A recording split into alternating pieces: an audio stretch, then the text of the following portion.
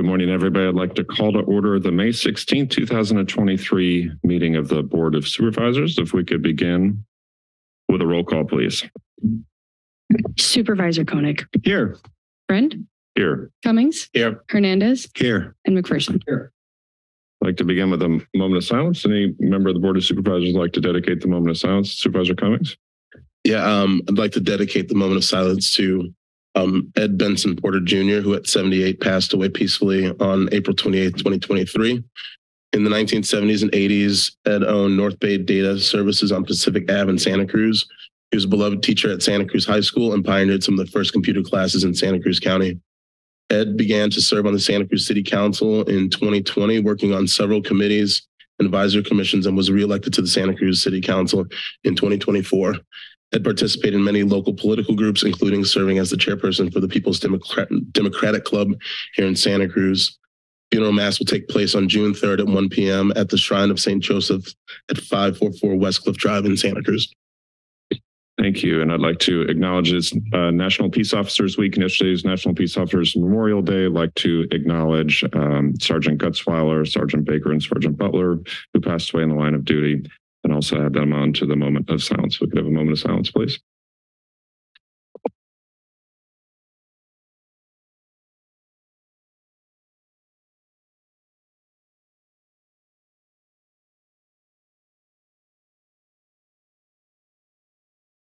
Thank you. Please stand for the Pledge of Allegiance.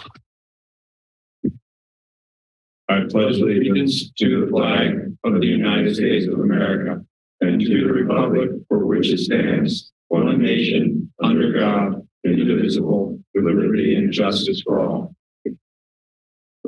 Good morning, Mr. Palacios. Are there any changes to today's agenda? Uh, yes, we have one change. This is on the consent agenda. Item number 20, there's additional materials. There's a revised memo, packet page 164, which is replaced. The commission name should read Santa Cruz Monterey Merced Managed Medical Care Commission. That concludes the changes to today's agenda. Thank you, Mr. Palacios. Any board members like to pull an item from consent to the regular agenda? Yeah, Mr. Chair, I'd like to pull item number twenty-three. Okay, we'll pull item 23 and we'll make it item uh, 9.1. Is that okay, Madam Clerk? Yes, Chair. All right, so now we'll now open it up uh, for public comment. This is an opportunity for members of the community to address us on items that are not on today's agenda, but within the purview of the Board of Supervisors, items that are on the consent agenda, or if you're unable to say items on the consent agenda. Good morning, welcome. Thank you. Buenos dias. Good morning. My name is Teresa Carrillo, and I am co-founder and executive director of Salud y Cariño. I'm here to speak on the Justice and Gender Report and recommendations. I am on the commission and served as co-chair for two years. I am also a survivor of gender-based violence. I share all of this because we can't talk about justice and gender without talking about the fact that more than 80% of justice-involved women in custody are also survivors of gender-based violence. I'll say that again. More than 80% of justice involved women in custody are also survivors of gender based violence. In 2017, Dr. Susan Green presented a report to this board entitled Gender Matters A Profile of Women in Santa Cruz County Jail, based on 31 interviews with women in the main jail in Blaine Street. The JAG Task Force and this commission are a result of those women's voices. Nothing about us without us. The 2021-22 report submitted to you all contains many recommendations. I would like to speak on two. Develop permanent supportive housing specifically for women, including women with children, to reduce cycles of homelessness and incarceration. In 2021, Dr. Green and I conducted interviews with 16 women in the main jail regarding safe and affordable housing. I distinctly remember how many of the women thanked us for asking them what they thought and for simply listening. I was blown away because all I could think was thank you for trusting us and for sharing your story. What we heard is that they wanted a chance to start again. They want to be seen. They want a safe place for them and their children. They want what we all want a good life.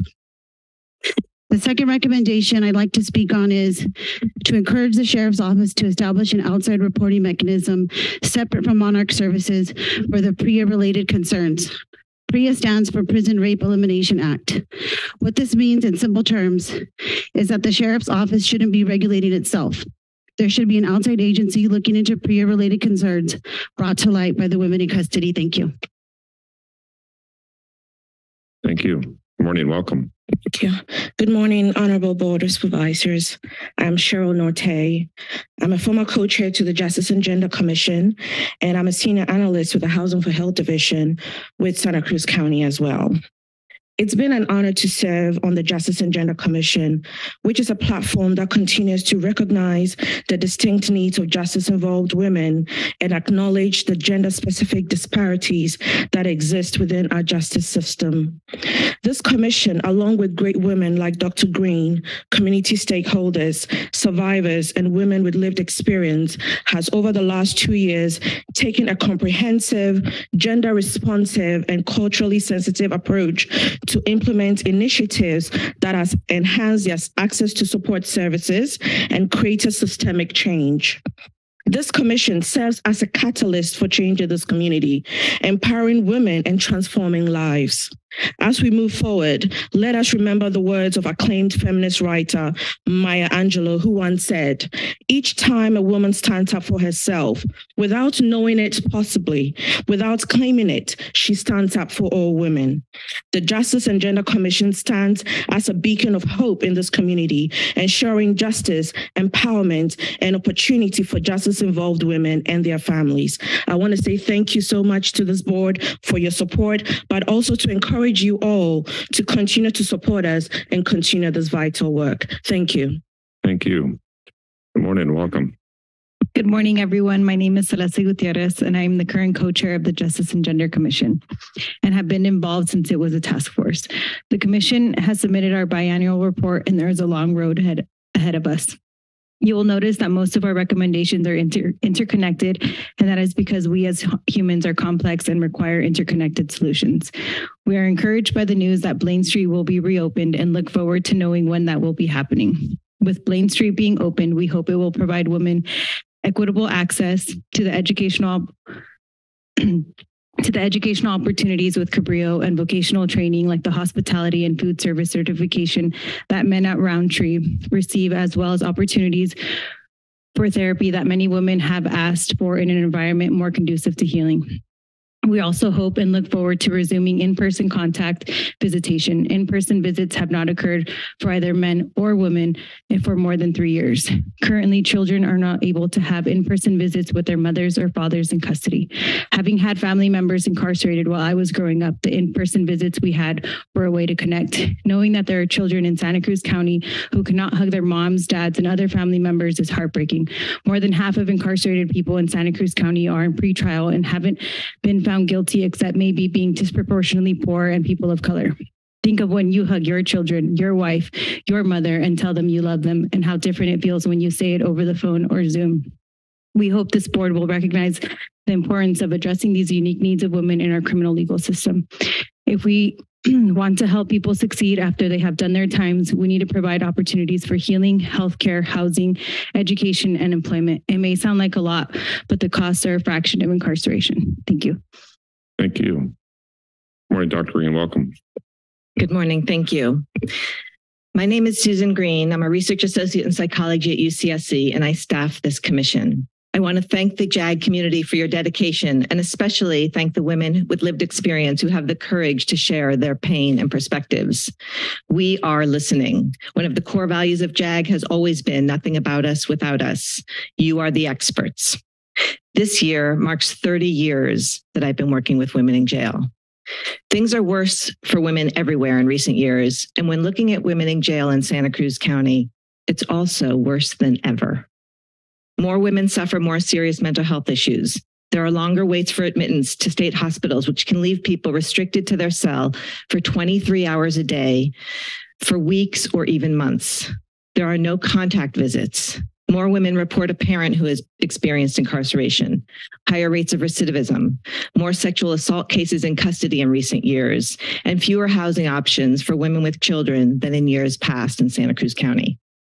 Our investment in, in incarceration has risen, while some alternatives to incarceration have dissolved. As this report states, many of our social problems that are not of the jail's doing become the jail's problems. To talk about the things that need to be improved at the jail does not take away from the good work being done by the people employed there.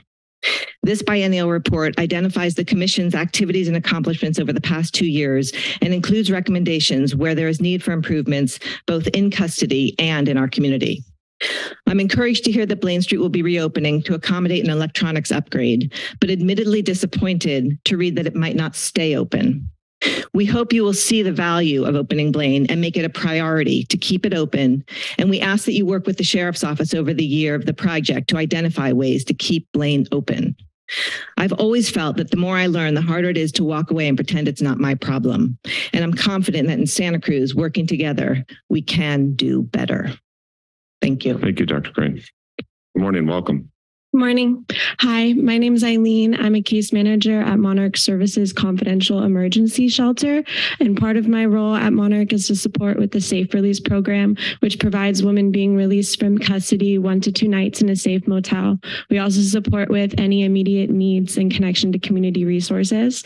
I've seen firsthand positive impacts of this program. For some women that one to two night bridge is exactly what they need in order to connect to family or outside programming and find a safe place to stay which is the goal.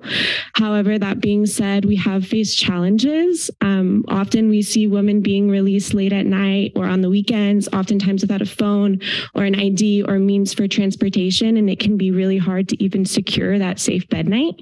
Um, additionally although our advocates are fully trained in supporting with trauma around domestic violence, sexual assault, and human trafficking. And much of the incarcerated population are survivors. Incarceration in and of itself creates a whole new set of traumas.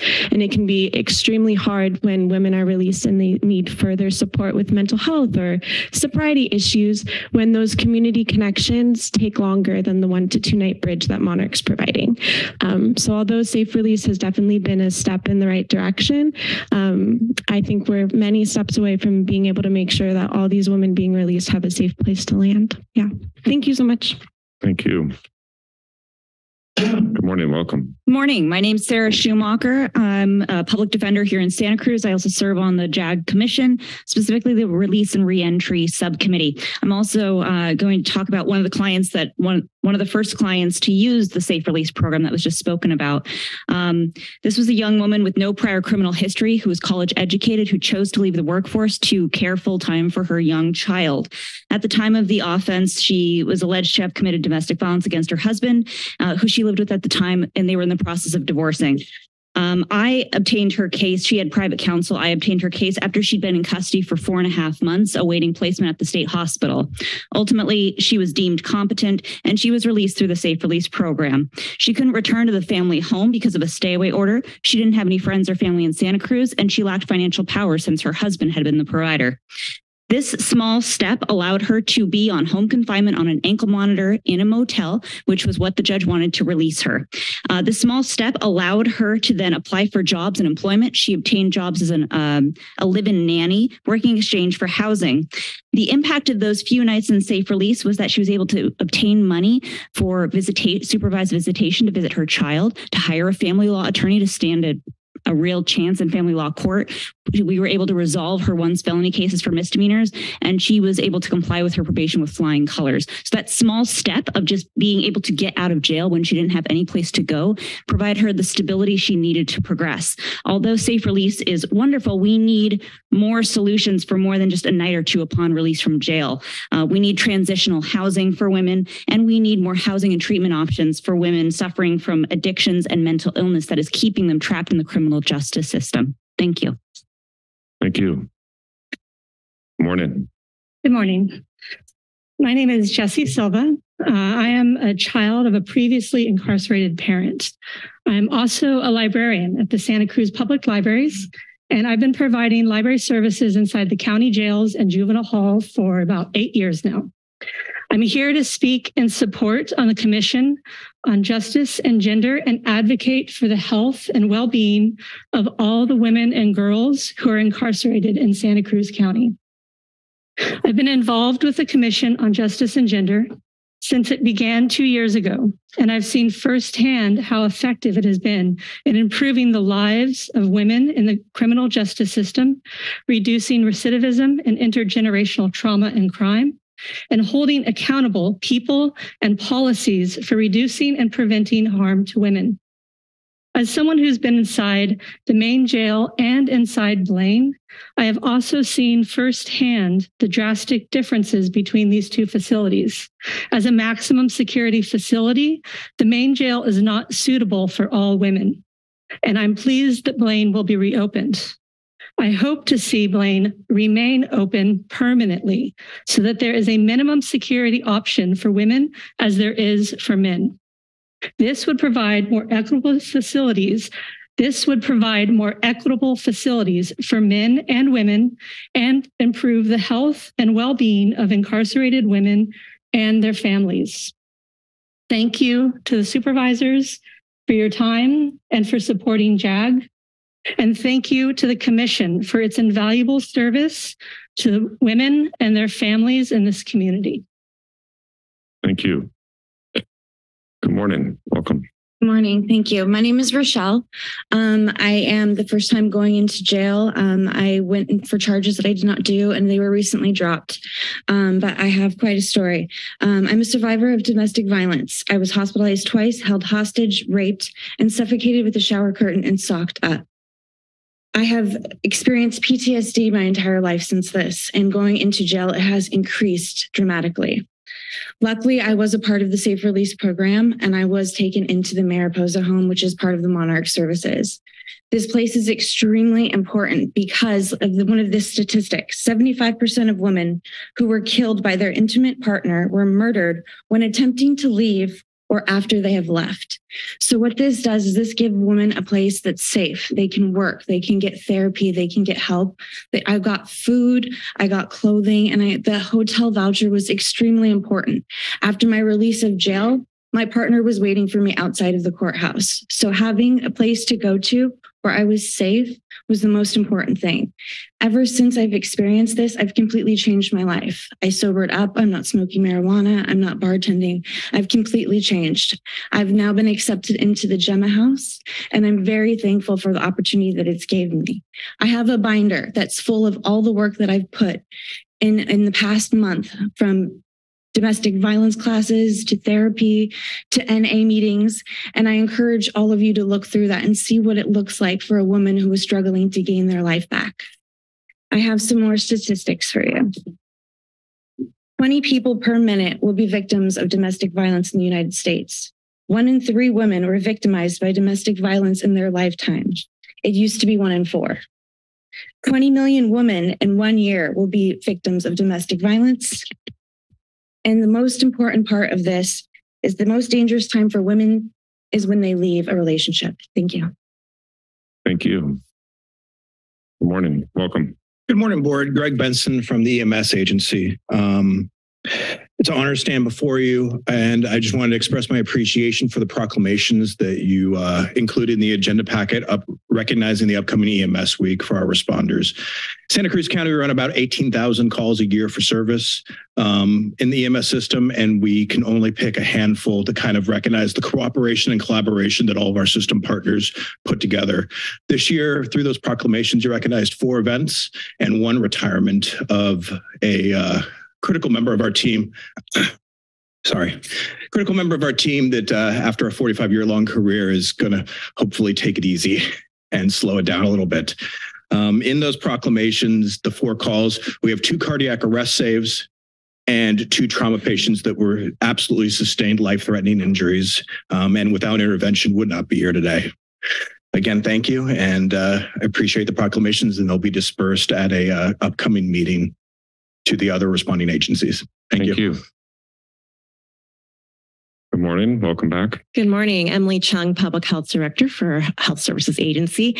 I want to um, piggyback on what Greg Benson shared about EMS Week. So, Emergency Services Week um, is next week, May 21st through 27th. So, thank you again for the proclamations. The theme for this national event is Where Emergency Care Begins. And this truly is where emergency care begins, as Greg mentioned, in terms of how many calls for service our uh, integrated system of care offers uh, throughout our county. Um, I want to really acknowledge our own team within Health Services Agency that make up our EMS administration backbone, and that includes Greg Benson as our um, director, and we have our medical director, David, Dr. David Ghilarducci, and our staff in public health, including Claudia Garza, Shelley Huxtable, among many others who support our EMS work. We do, our team does work such as our certification and quality assurance for our um, paramedics and EMTs in our community and works with pre-hospital admissions in our hospital systems and um, many other things that I won't name today. Uh, we also backbone the Emergency Medical Care Commission um, and uh, to ensure the quality of the services throughout our integrated EMS system. So we want to thank everybody that is part of that, whether they are um, first line uh, responders in fire or paramedics or our um, emergency room staff um, and so many other types of positions that provide um, first responder care. Um, and while I'm up here, I do want to acknowledge everybody that has spoken about the Justice and Gender Commission. I really do think that's a wonderful work that everyone is doing and support this from a public health approach. These are important issues of equity and justice to ensure that um, anybody who's incarcerated has the opportunity to uh, improve their conditions. So thank you for considering their work and to everybody for that work. Thank you. Good morning. Welcome back. Good morning. My name is Jen Herrera. I'm one of the assistant directors with the County Health Services Agency. Uh, I'm here uh, to following my colleagues to uh, thank the board for the proclamation for Emergency uh, Medical Services Week. It's the EMS sector is truly vital and it and is there for a community when it's uh, provides a critical service for our community when it's most needed. I'm also here as a representative of the JAG Commission as well, and I want to thank um, the county and all of um, the JAG representatives before me um, for being part of this collective effort to have multi-sector engagement to support women who are incarcerated. It's not just about elevating the voices of those who are incarcerated, but it's listening to them, recognizing their humanity, and recognizing that those of us us who are in power and have the ability to change structures um, have an ownership to do that. So thank you very much. Thank you. Good morning. Welcome. Good morning, uh, Honorable supervisors. Um, I'm Lynn. I'm the executive director of CASA. And um, I am supposed to come up here to uh, talk to you today about why um, not allowing in person visitation is difficult for children. And, um, and driving here, I realized that the prepared speech that I had, um, I wouldn't be unable to give. And that's because, and please excuse me, I very recently and unexpectedly lost my mother. And I went into a Verizon store as you do to have her phone turned off. And I realized that she was my emergency contact. At the age of 57 years old, I still relied on my mom to keep me safe. And now speaking, sorry, it's very recent. Speaking as the director of CASA, I would say it is one of our underlying fundamental principles that removing a child from their parent is traumatizing to that child. In fact, this is so self evident to us that it is the underlying principle for every CASA in this country. When we remove children due to incarceration from their parents, we take away their safety net. We cause the trauma that you see in me today. And we can heal that. We can take steps to healing it with in person visitation by allowing our parents and our children to touch each other again.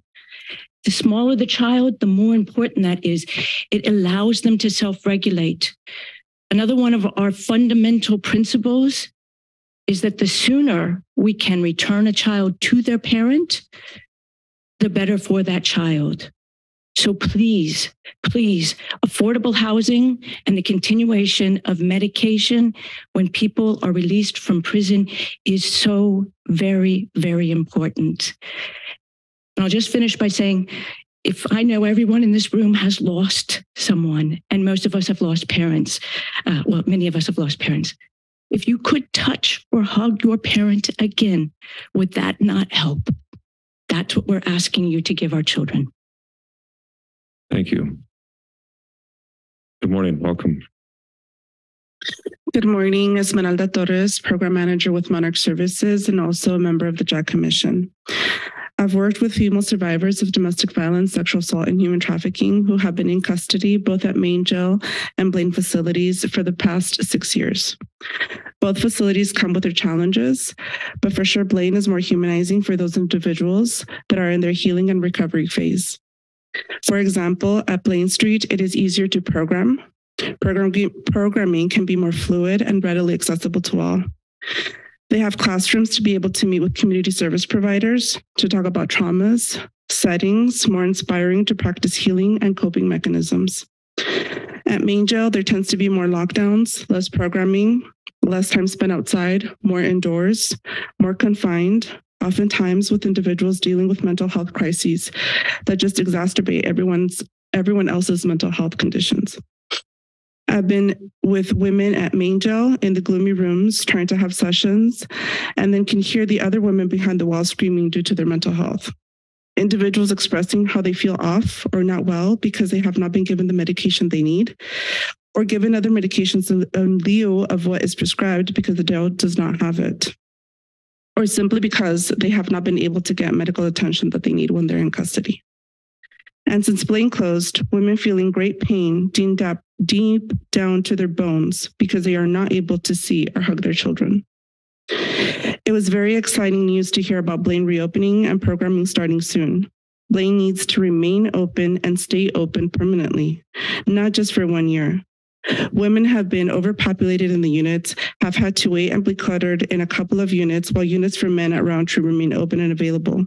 Blaine is a space for women who try to rehabilitate and get programs they need um, to better themselves. It's a space to connect with the outside resources that they need for successful community reentry and a way for us to see less recidivism. Thank you for your time. Thank you. Good morning. Welcome. Good morning. Thank you. Uh, my name is Rebecca. As an individual having lived experience with the criminal legal system and as a survivor of the cr criminal legal system, I wish to express my sincerest gratitude. Thank you to Dr. Susan Green and the Justice and Gender Commission to include the appointed representatives as well as the growing body of community members who are contributing to the cause for being dedicated and committed to advocacy and action for the target population. Thank you to the Santa Cruz County Board of Supervisors for taking the actions necessary to establish the Justice and Gender Commission. And thank you to the county commissioners for thoroughly considering and taking action on the related issues as they are brought to awareness and brought to attention. Thank you for hearing and listening to the voices of experience. As in order to facilitate necessary change, acute understanding must be present. With effective communication and impassioned collaboration, the incredibly important issues being addressed can, continue to be approached with the urgency and focus they require. While the core issues at hand are undoubtedly challenging to face, the courage and responsibility that is exercised in the process has and will continue to provide better circumstances for the affected women, their children, their families, and the community. Thank you. Thank you. Good morning. Welcome back. Good morning. My name is Cassie Gazapora. I'm a former public defender. I now work at Monarch Services, and I've been a part of the JAGS Commission's work for the past five years. One of our areas of focus has been healthcare for system impacted women.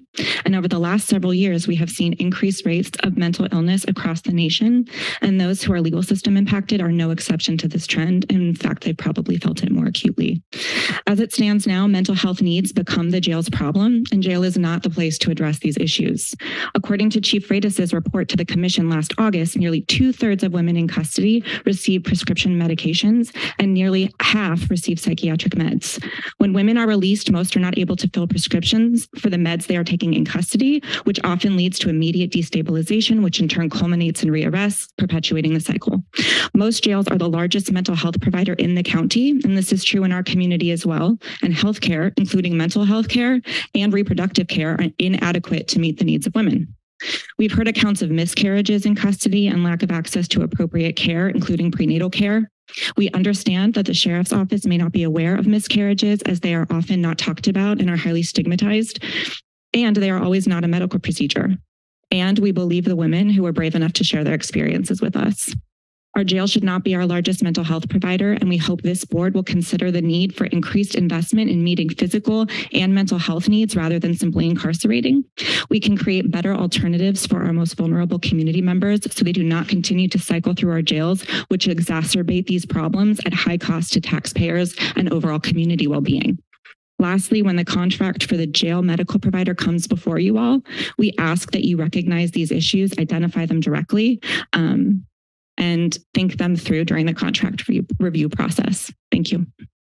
Thank you. Morning, welcome. Morning. Thank you. My name is Katie Mayetta, and not only do I stand before you as a consultant that supports in um, really making social changes for criminal justice, but also as a woman that is a child of incarcerated parents. And um, really, I've been a part of this um, this amazing justice and gender task force for a long time, and uh, we wonder why are we separating out women from this uh, ongoing problem that is affecting our entire community of justice and mental health and substance use in our legal system. And the truth is, is that trauma has affected women way more significantly. And you guys have heard all of those points. But also, this legal system has been built by men for men in a world that originally was for bad people. And we wonder what bad people really mean. And bad people is a definition that has been blurred, that now we're recognizing that that really means children who have been traumatized, children who have been put in really difficult situations, that because of uh, the social, economic, uh, I don't know, color of their skin, how much money that they had, the situations that they grew up in have affected the way that they have lived. And we are now changing that. We have so many programs that are now preventative. And now we are in the system that we are now addressing those issues. And it's amazing. But now we have a lot of people that are in our legal system that we need to help them now. And so every decision that you're making, all of these changes, all of these recommendations are helping these women who are standing before you and telling you their stories. And so every single thing that you're doing is taking that little step of change. But we are working within the system that we have, the facilities that we have, the, the damages that we've already made, and it's taking a long time. Cal is one step towards that. And the decisions you're making now are all of those steps towards that. So thank you so much for your consideration. And thank you for the changes that you are making now for that. Thank you. Good morning. Welcome. Hi, good morning. Um, I come a little bit unprepared, but I am here in support of the Justice and Gender Commission. I am a commissioner and I am also the executive director at Walnut Avenue Family and Women's Center. I'm also a psychologist that specializes in trauma.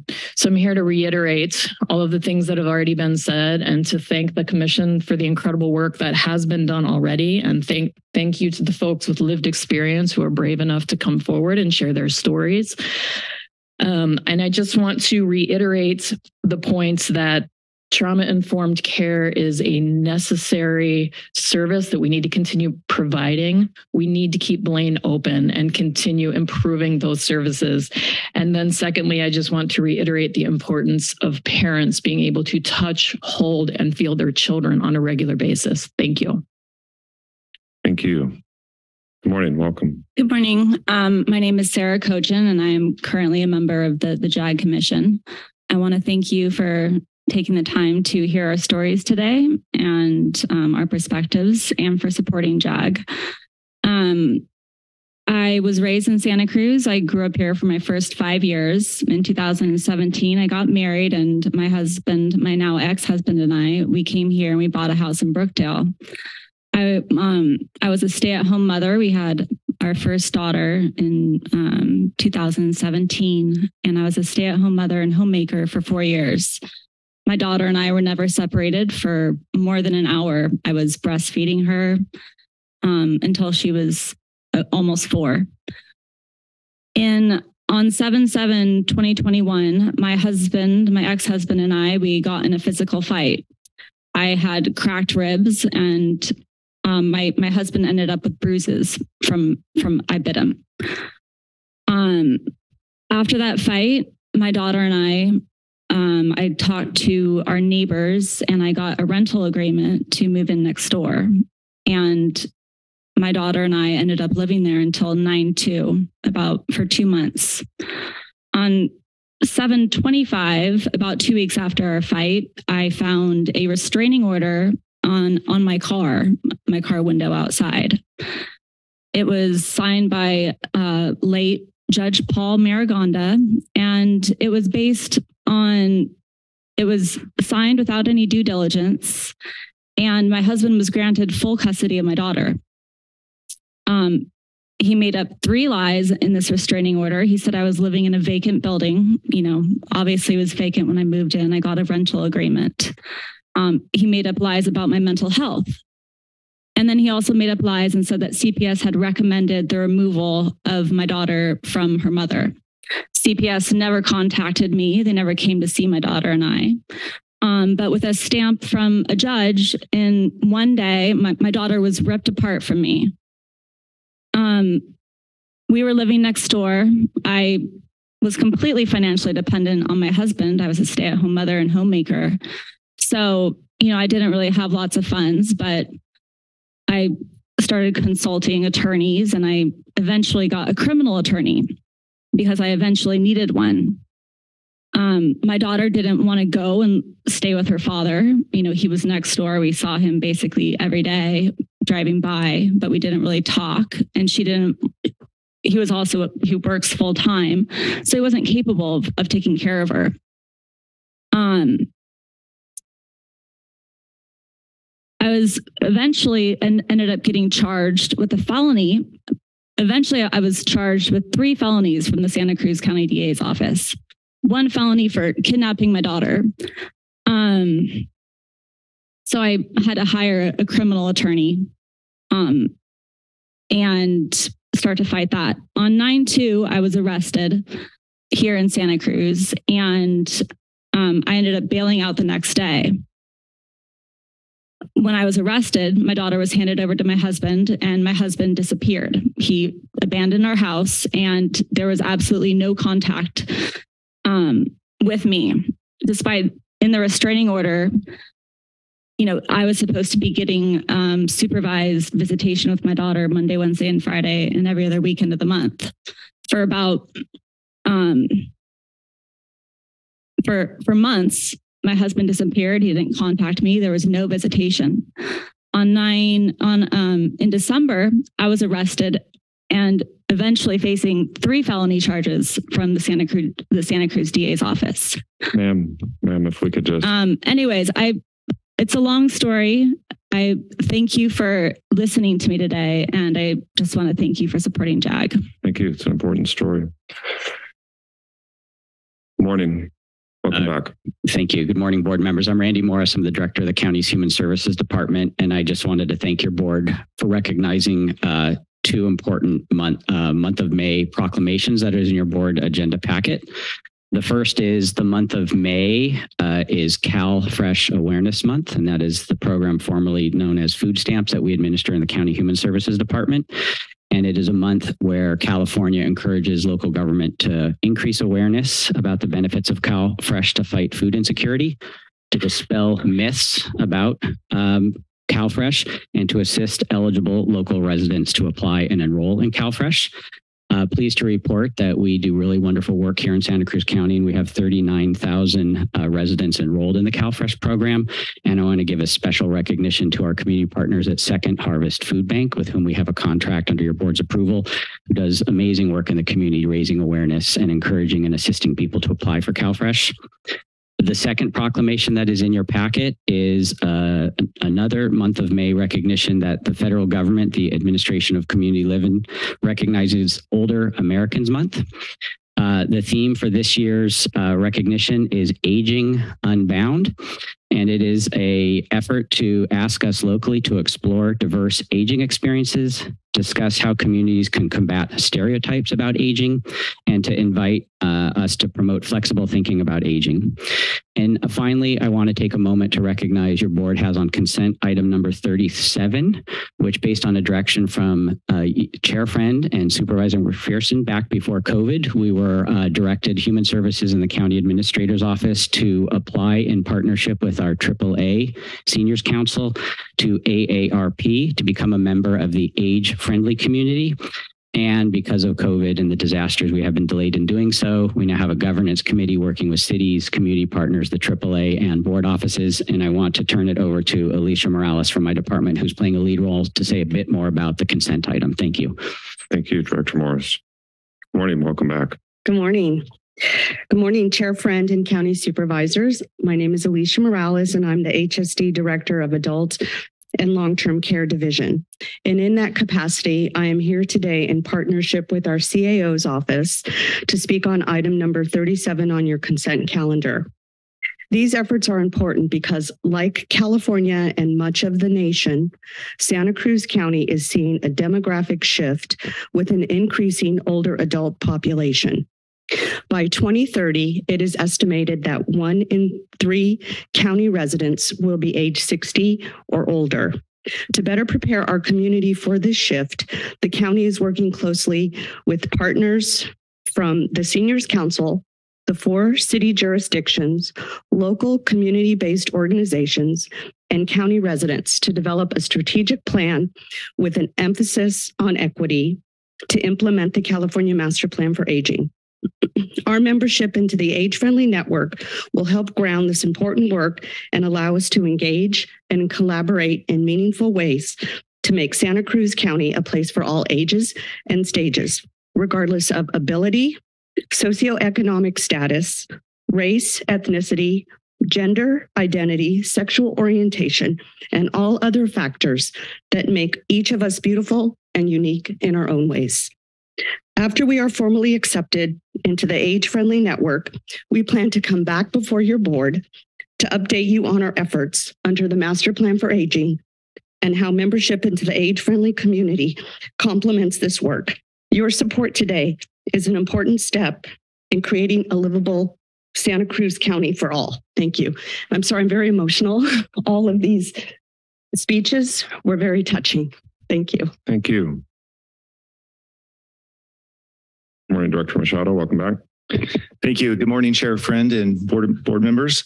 Uh, I want to thank the board this morning uh, for declaring the week of May 21st through May 27th as Public Works Week in Santa Cruz County. Uh, this year's theme is connecting the world through public works. Uh, this is a national a national event. Uh, and this year's poster illustrates how Public Works connects us all through infrastructure and service. And I'd like to uh, comment that public works is a very broad topic and a broad area. It includes housing, it includes utilities, it includes solid waste, it includes flood, flood control. And I just want to thank you for that recognition that for all that our staff does. So thank you. Thank you. Good morning. Welcome. Good morning. It's nice to be here. My name is James Ewing Whitman. I'd like to make uh, comments on number 13 on the consent agenda on codified ordinance adopt military weapons use AB 481. You know, I haven't read what was on this today, but over the past maybe seven or eight weeks, it's come up three or four times in the city, and this is at least the twice the second time in the last two months. You know, what's not really being discussed are the mili- is the military weapon that's in my hand, and that any cell tower under 150 feet is totally unrele- unregulated. There's a free document anybody can access that in 1976, 8,500 documents were declassified by, you know, almost every three, four, five letter agency, including the Russian military and our military. So my point of standing here is it seems like as an 11 year old kid doing what I was doing, the job of law enforcement is probably six times more difficult. And that's primarily more difficult because most people don't have a basic understanding of our US Constitution and our Declaration of Independence. Our first US Constitution only lasted two years. You know, the flags that I'm standing right here, those are corporate pirate flags. So these supervisors may seem to be supporting the public, but they're under the control of the city and county managers. And that's not an elected position. So what's really going on here with justice and who you guys represent? Thank you. Thank you. Is there anybody else in chambers? Madam Clerk, is there anybody online? Yes, Chair. Call in user one, your microphone's now available. Mayor Langara, thank you for the uh, people who have been speaking just now. Um, I always uh, am better informed from listening to members of the public uh, regarding item 13 military weapons. I think the militarization of the police is an assault on the public and the police and sheriff already have more than enough weapons in their arsenal, in my opinion, and um, we should not be having this kind of damage to the public under the guise of protecting the public. Uh, regarding the Justice and Gender Task Force and women disproportionately uh, harmed. Um, I always am looking at what environmental and social problems and the policies that we're subjected to are negatively impacting people. And what James just said about military weapons being the wireless uh, cell phones, cell towers, Wi Fi, you could go on and on, satellites.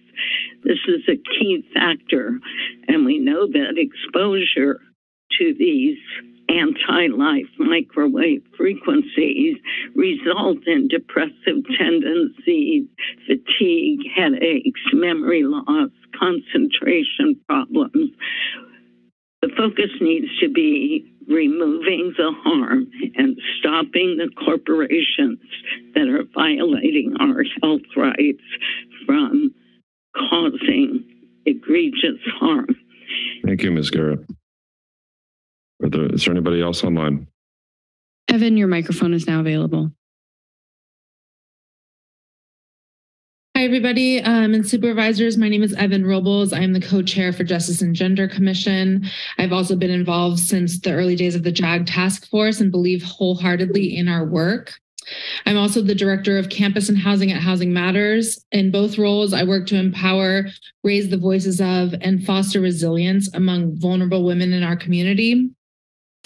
Unhoused and unaccompanied women are highly vulnerable, have high rates of incarceration, and are often victimized. And the impact of their struggles reaches far beyond the individual and impacts this community as a whole.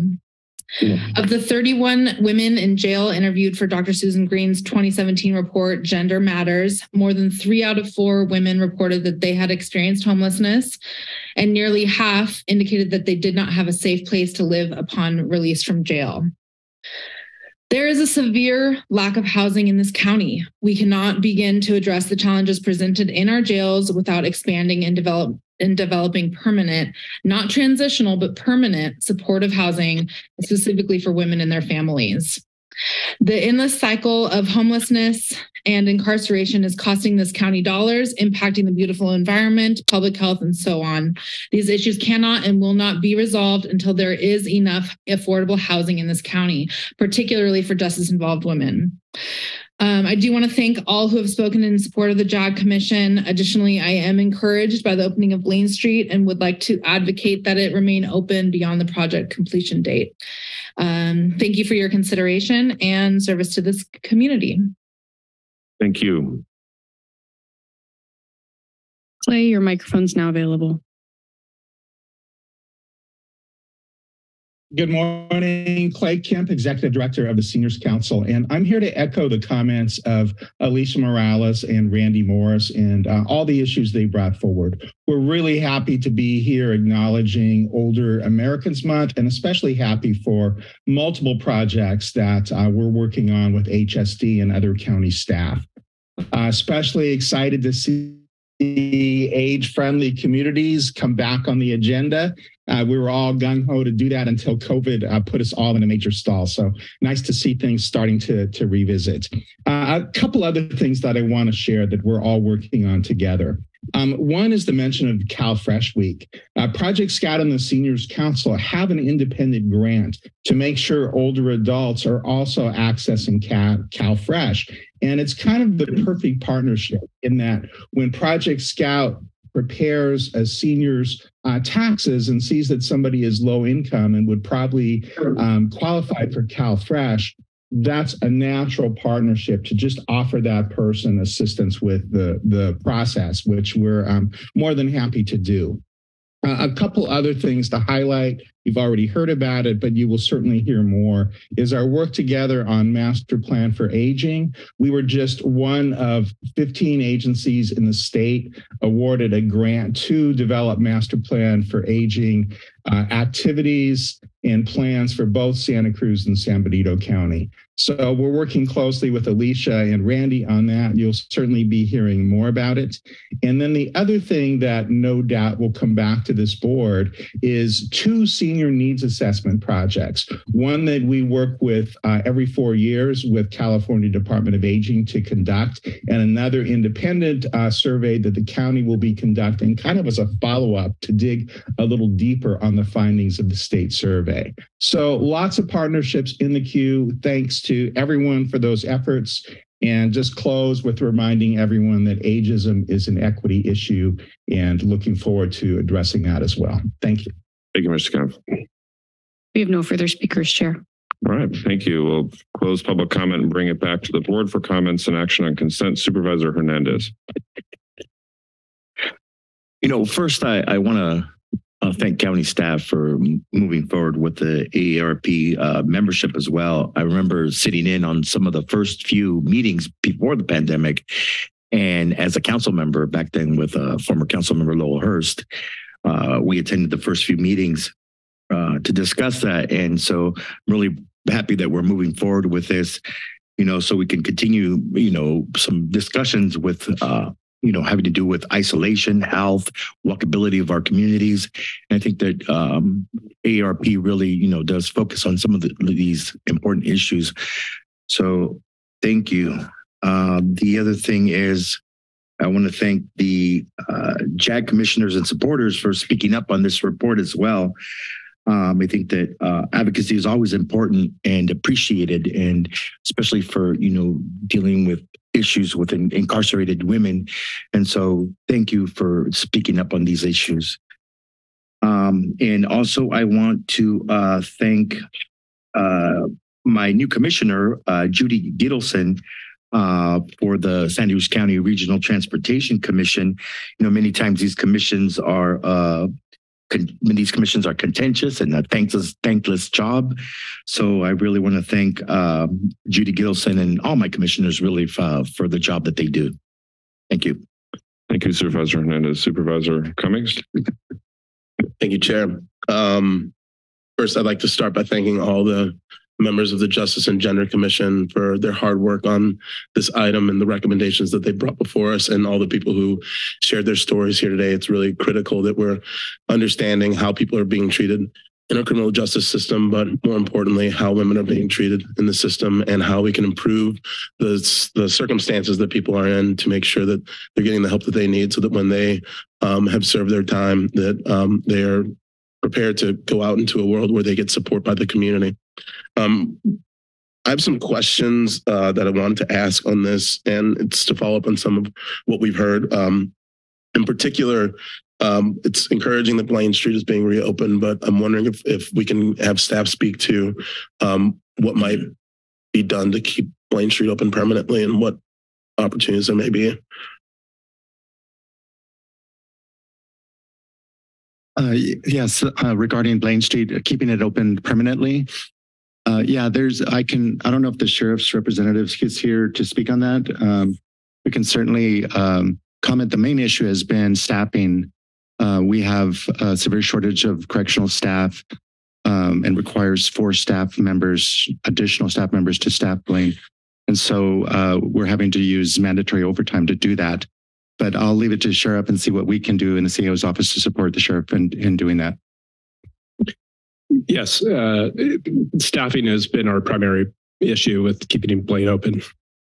Um, as Mr. Palacios just referenced, our staff's been on mandatory overtime for well over five to six years at least. Um, in order to open Blaine, it's four full-time employees to, to maintain it 24 seven. Um, and as a result uh, of us opening Blaine, even now, it's going to be an additional one to two mandatory overtime shifts for every staff member we have every six weeks. Uh, and that's in addition to the mandatory overtime that they're already working. And then the other question for follow-up was um, somebody mentioned the WellPath contract, which um, would be coming to us soon. And I'm just curious what the timing is on that and um, whether there are other options because it sounds like there's some concern with that as well. I believe that contract ends uh, in 2024. Got it.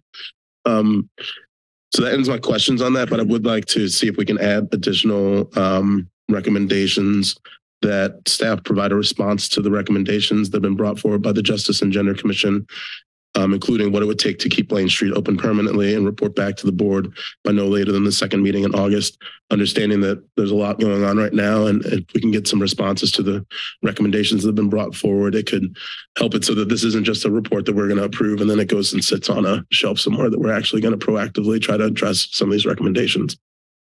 Yes, we, we can provide a response to you within the next couple weeks to a month. Right. Um, then the next item, um, I had a question on was item number 29 uh, related to inmate welfare. And so maybe you could just stay, stay up here. Um, so when I'm looking at the budget, um, one of the things that stood out was that about 75% of the funds for the inmate welfare fund are being used on staffing. And so I'm just wondering if you could break down, since there wasn't a breakdown in the report of what that staffing is, I'm just, con, you know, wanted to better understand what. Yes, I, I have Kathy Sams here, who's our fiscal manager, and I was going to have her speak to that. Okay, thank you. Um, that funds uh, three program coordinators that directly and only work on inmate programming and also a program manager. Great. Well, thank you for that. And I think um, next year's report, just be helpful to have that broken down a little bit so we can know like what programs are being offered. And um, and that way it's it's clear for folks that um, you know, this is really to support the programming and services that are being offered in in the jail. Um, and then the last um, comment I had, uh, it was on item number 38, which is uh, safe park funding for safe parking programs. And just want to thank county staff for finding it's about, it's over $366,000 that's going to go towards helping to support some of the safe parking programs that we have for people who are experiencing homelessness. The county's been helping with these programs for quite some time now. I just want to thank uh, the county for helping to find those funds and for that ongoing support. And um, that concludes my comments on the consent. Thank you, Supervisor Cummings. Supervisor Koenig. Thank you, Chair. I also want to begin by thanking everyone who shared their stories with us today. It really helped deepen my understanding of the issues that face uh, women in our community and uh, you know, hope to continue the work to improve the conditions for men who are involved in the correctional system so that uh, we have better outcomes for all. Uh, I certainly share this interest in ensuring that we open and keep Blaine Street open as uh, permanently moving forward. And, and, in fact, I was just speaking with our personnel director uh, about this issue of how we can uh, ensure that we hire enough correctional officers to uh, keep that facility open as well as um, fully staff Rountree as well.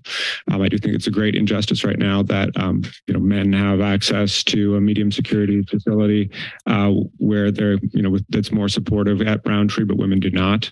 Um, so we are she, she informed me that we are taking se several steps. First of all, um, a number of salary increases, one that's already happened and, and, a couple more coming up, one at the end of the year and another one at the beginning of next year. Uh, we also took some time to identify where there's bottlenecks happening uh, in the application process for uh, new correctional officers, uh, and she committed to ad- addressing that so that um, it becomes less of an issue going forward. Um, and I think that, of course, we can continue to work with the sheriff's office to do outreach to the community about how important this role is um, and how it um, really can lead to uh, you know, better, more holistic treatment for folks involved in the correctional system. I also wanted to uh, comment on item 38, the agreement with the Association of Faith Communities in the amount of uh, $355,000 uh, for the Safe Spaces parking program and thank Human Services for finding this money to be able to support this program. Uh, it is incredibly important um, I mean, not only the, success of the program, the fact that 39% of households involved in the program do move on to find permanent housing, I think really speaks to uh, how effective it is. Um, and not only is it effective in terms of the outcomes, but it's incredibly effective in terms of the cost of uh, providing these services because uh, these faith communities are bringing their own land and oftentimes their own volunteers. Uh, they're able to offer these services really for a cost per space or cost per bed for an, an amount far below what we see from some other providers. So um, really glad that we are supporting uh, AFC in this effort and hope that our board can uh, continue to find funding and um, support them beyond 2024. Um, you know, I think particularly as we see things like the oversized vehicle ordinance go into effect in the city of Santa Cruz, it's important that we provide sanctioned options at the same time that uh, there is greater enforcement throughout the community. And finally, on item 41, accepting the lowest bid for the Soquel Drive project. I'm just really excited to see this move forward. I think uh, combined with the bus on shoulder auxiliary lane project on Highway 1 that we just broke ground on, uh, combined with the $38 million that Metro is receiving to buy uh, uh, really ultimately replace almost a third of its fleet with zero emission buses. Um, this Soquel Drive project is, is moving us towards a, a, true 21st century transit system in our community. Uh, and uh, it's really great also that we are including the fiber optic cable portion of this project that's going to bring high speed internet right here to this building at the headquarters of county government. Uh, so truly that that poster, we're, we're being worthy of the uh, you know high tech look of that poster celebrating Public Works Week next week. That's all my comments. Thank you. Thank you, Supervisor Koenig. Welcome back. And Supervisor McPherson. Uh, thank you, Mr. Chair. I too want to uh, thank those who came from the uh, Justice and Gender Commission for uh, stepping forward and letting us know uh, how you think it's working or not working and how we might be able to improve it. And I especially want to thank Ms. Green for her leadership in this. She's been really sticking with this and you, you have a great leader in uh, overseeing uh, how we can improve this system that we, we have. Um, a couple items on the consent agenda. The um, item number 17 the mosquito vector control request for proposal. Uh, thank you to the CAO and the Ag Commissioner for bringing this item in, to the board. Um, this is a po positive step to, to improve uh, health in Santa Cruz County and providing adequate resources to deal with uh, the invasive mosquito issue. I know it sounds like a little issue, but it can be really huge and be very, very uh, worrisome to the people of this county. Um, and this is yet another facet of climate change that um, is impacting our local community, and we should take a closer look on how we can properly fund this because uh, we need to uh, continuously fund this uh, very, very serious health related issue in Santa Cruz County.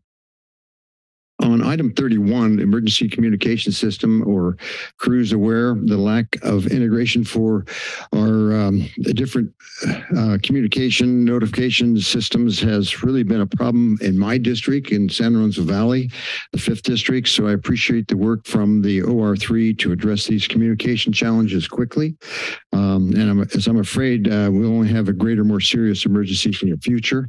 Um, on item number 37, which has been mentioned about the age-friendly communities, um, I want to echo the gratitude for our county staff and the Seniors Council for working collaboratively on a path forward to join the list of age-friendly communities, as was mentioned by Clay Kempf of the AAA Age Area Agency area agency on the aging, which I'm a member of, um, that uh, we are one of the 58 counties, one of 15 to get a grant. Um, this is an important distinction um, that uh, our county's efforts to address the needs of the senior community that's growing very rapidly percentage wise in this county uh, through our master plan on aging work. And I'm glad that we're continuing this work. It's very, very vital for this increasing population. Thank you, Mr. Chair. Thank you, uh, Supervisor McPherson. I'd also like to acknowledge uh, Dr. Green in particular for your leadership in this work from the time that you were uh, working within our offices uh, directly to the time that you, that you uh, spoke out and said that there was a need to elevate these voices, uh, not just through your research but through your policy work. Um, this really is, without your leadership, this wouldn't have happened. This elevation, and I just want to acknowledge that. Um, and I also want to acknowledge your approach and the commission's approach to ensuring that, that there's first person voices that are included in the report as opposed to just a lot of times, as you know, doing academic research, things get aggregated and they, the, the personalization gets taken away, but you've really elevated the individual stories in a way that, that really informs the policymaking process. So uh, great appreciation to the commission. I'm fully supportive of Supervisor Cummings' additional direction on this item. On a few additional items on uh, the agenda. There's a collection of public works items, including uh, what Supervisor Koenig had mentioned that the investments on Soquel Drive are important. It's, it's actually the largest investment we've made in, in pedestrian and bike safety in that corridor and multimodality in its history. So it's a pretty significant increase in safety. It's a a large challenge in particular for those that live in the mid and south county that try and use that transport corridor. Uh, there's a lot of safety challenges around it. I'd also like to acknowledge um, the the initial appointment. There'll be a second vote on it, but Dr. Hernandez to the Alliance Board.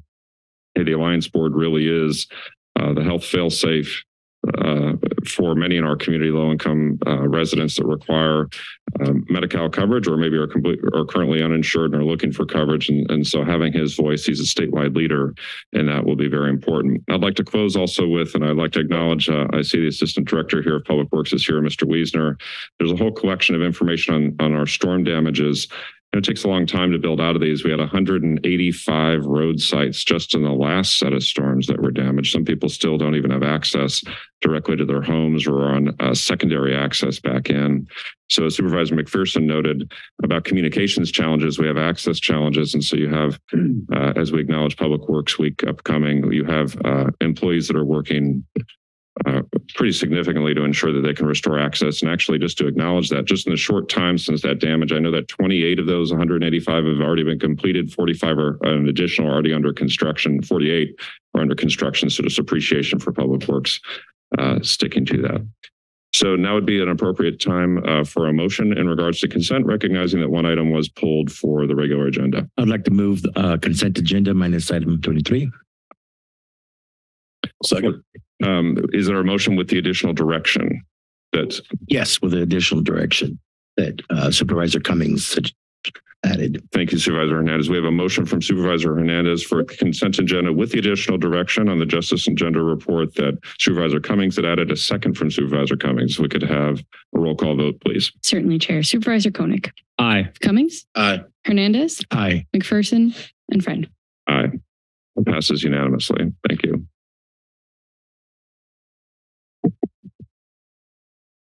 Uh, we will move on to the first item of the regular agenda, which is to consider a report on the county's recent activities to implement the California Advancing and Innovating Medi-Cal or CalAIM initiative, co-authored by departments representing the county's CalAIM Governance Committee, which is the Health Services Agency, the Human Services Department, Probation, and the Sheriff's Office and direct the County CalAIM Governance Committee departments to return on or before December 12, 2023 with an update on the County CalAIM uh, implementation activities is outlined in the memo of the Director of Health Services, and we have the agenda board memo. Um, and I'll say, as the current chair of the CSAC Health and Human Services Committee, this is a major initiative that's being worked on. I appreciate uh, Director Morales' leadership at a statewide level of this. Director Morales, are you kicking today's item off? Are, are you kicking today's item off? Okay, I'll pass it to you.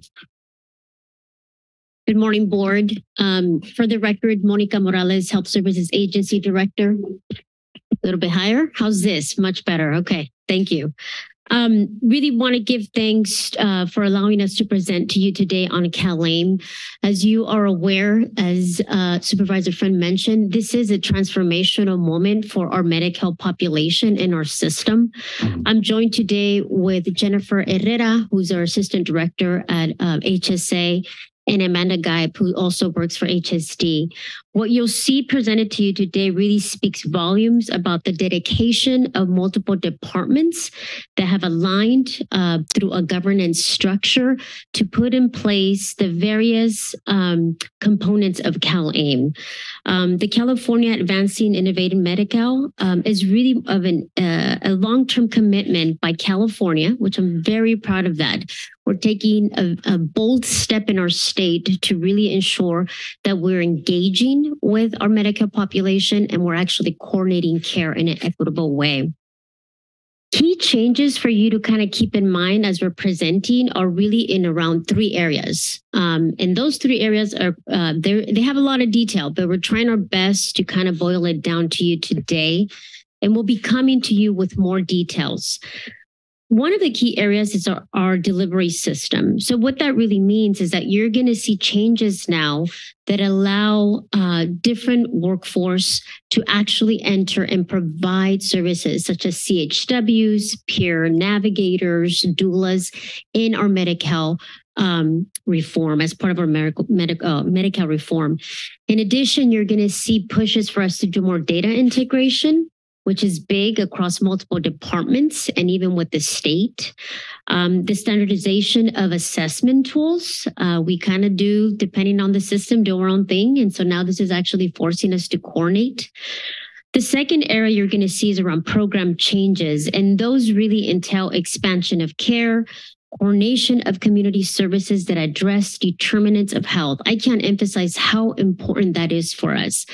Now we would be able to use some of the Medi-Cal um, funding to think about housing vouchers, utility payments. We never used to be able to do that before. So that's significant for us.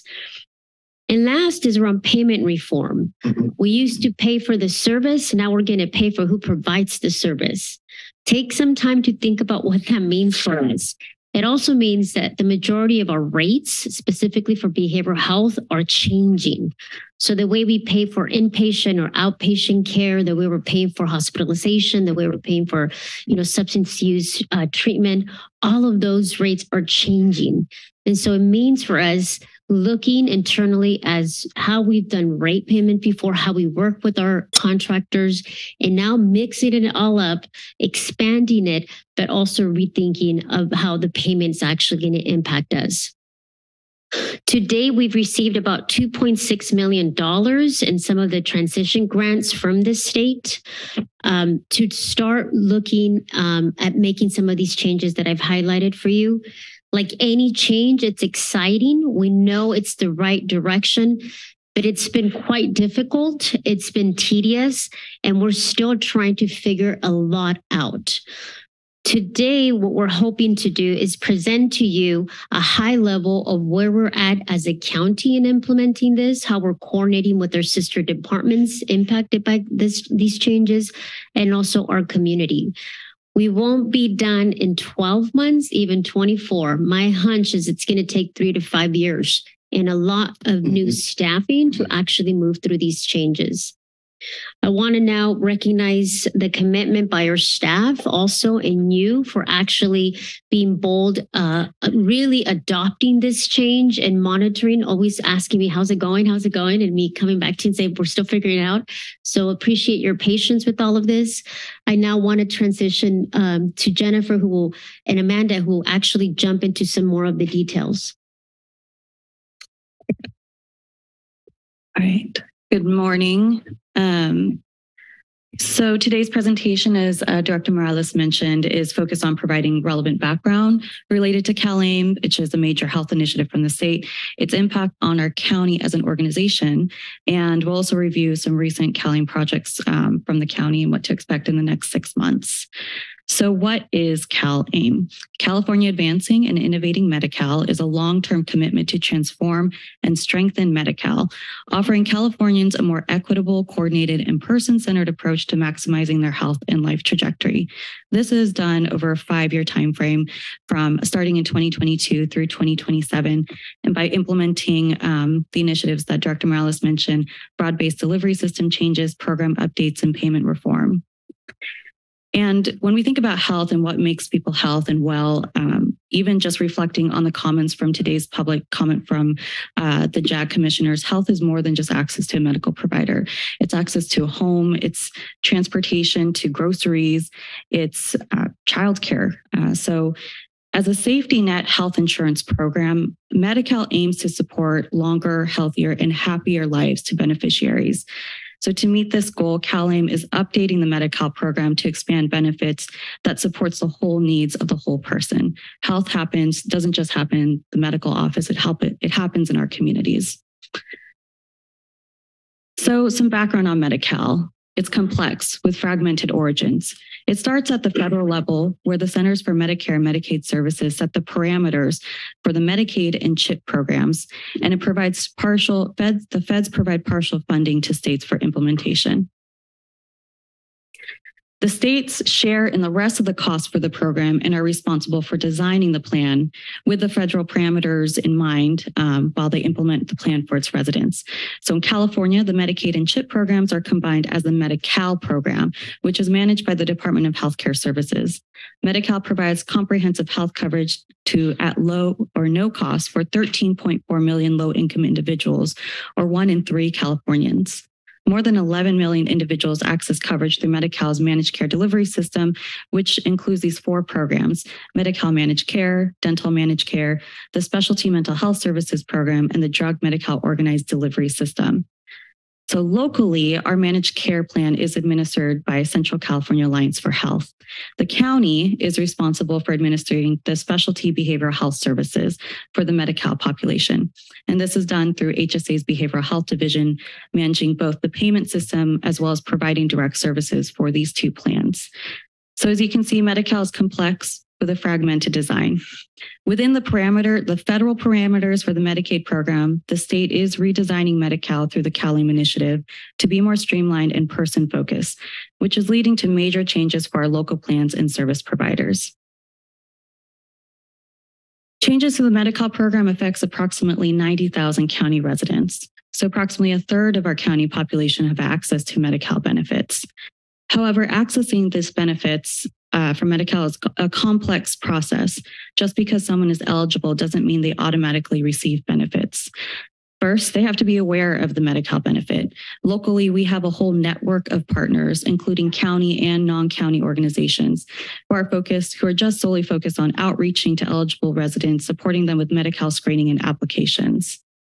Once an application is submitted, they have to be enrolled in Medi-Cal.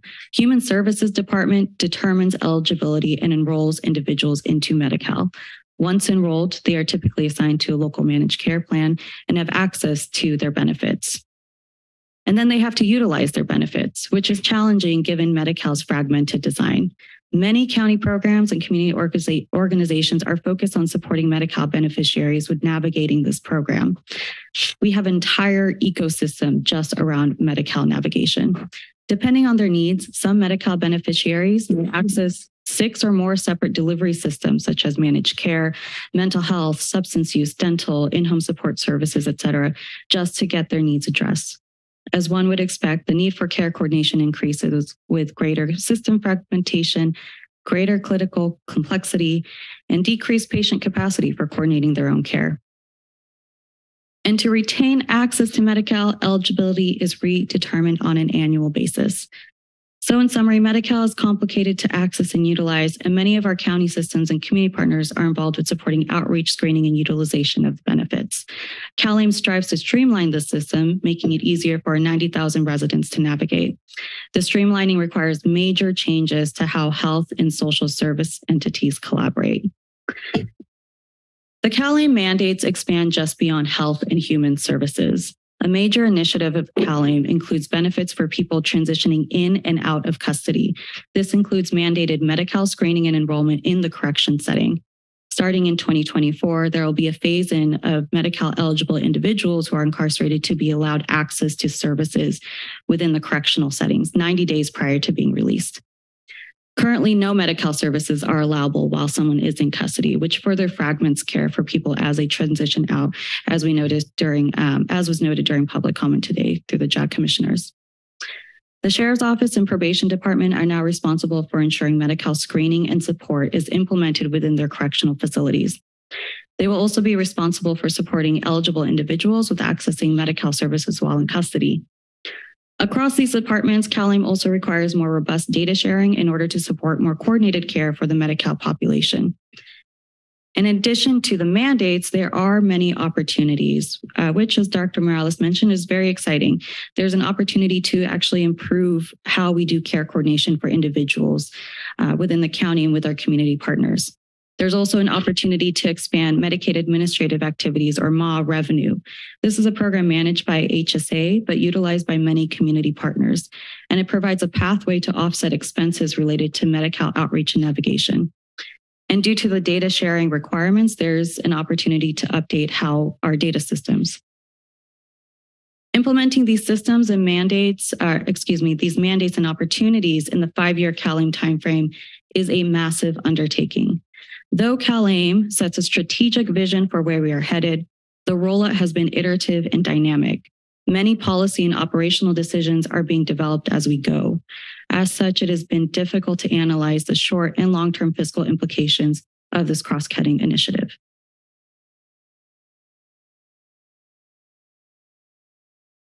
These mandates are requiring our, our county systems to collaborate and shift our operations in ways that hadn't been possible before.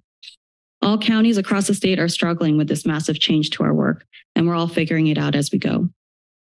Our county organization has developed a governance committee to support internal collaboration, tracking CalAIM updates and funding opportunities, and supporting the development of our internal strategy. This five-member committee includes a representative from each of the departments with CalAIM uh, mandates, including HSA, HSD, probation, and sheriff's office, and one community member with experience receiving services through all of our departments. In the next few slides, we'll highlight a couple of recent CalAIM projects uh, implemented by the county. So the first is behavioral health payment reform. CalAIM is mandating changes to the reimbursement, financing, and billing mechanism of the specialty mental health plans, that's specialty mental health and the um, drug Medi-Cal um, organized delivery system, DMC ODS. These changes are effective July 1st, 2023. Um, so as a reminder, these plans are administered by the Health Services Agency's Behavioral Health Division, and they provide Medi-Cal um, uh, recipients, they serve Medi-Cal recipients with severe behavioral health needs. Services are provided by behavioral health and through contracted providers in the community. Currently, we are reimbursed based on our costs with administering the services. CalAIM is shifting reimbursement to a fee for service model based on the provider who provides services. So, for example, a physician's time uh, is, is likely to be reimbursed at a higher rate than a community health worker. This change has massive implications for our entire behavioral health system, requiring us to change our operations to align with the new funding model. As DHCS releases the new rates, HSA's Behavioral Health Division is tasked with renegotiating agreements with contracted providers. This mandate has been a major lift for our community as the state recently released the new rates and we have a tight timeframe to execute new agreements with providers all in time for the July 1st start date. With the newly released rates, HSA is analyzing the fiscal impact for our behavioral health system. However, we do anticipate potential short-term deficits as everyone adjusts to this new structure. I'll now turn it over to Amanda Geip, uh, HSD Division Director over Planning and Evaluation to review the next, pro next project. Good morning. A target population of CalAIM, the justice involved, has been an area of focus in the county through the Medi-Cal enrollment and screening mandates. These mandates include the pre-release Medi-Cal application process, 90-day services pre-release being offered, and in-custody behavioral health linkages, coordination of enhanced care management, community supports with reentry and transition providers. This image demonstrates a multi-phased approach to enhancing outcomes for the justice-involved population and captures the complexity of the collaboration needed. In 2022, Santa Cruz County had over 5,700 unduplicated individuals incarcerated.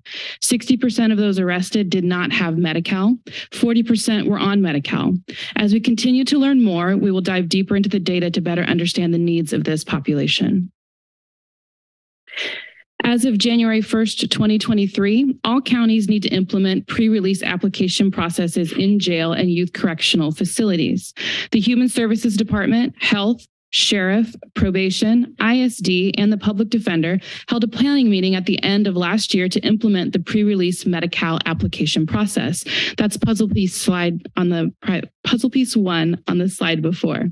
By anchoring to the booking process and planning for community connection for those that are released quickly, we will screen everyone in custody for Medi-Cal and offer an application alerting human services of the incarceration to manage those benefits, either to suspend them as required or to lift the suspension for the 90 day pre release implementation. There are a series of grant opportunities provided by the state, and we have applied collectively for the Justice Involved Round 2 funding to support the mandate implementation.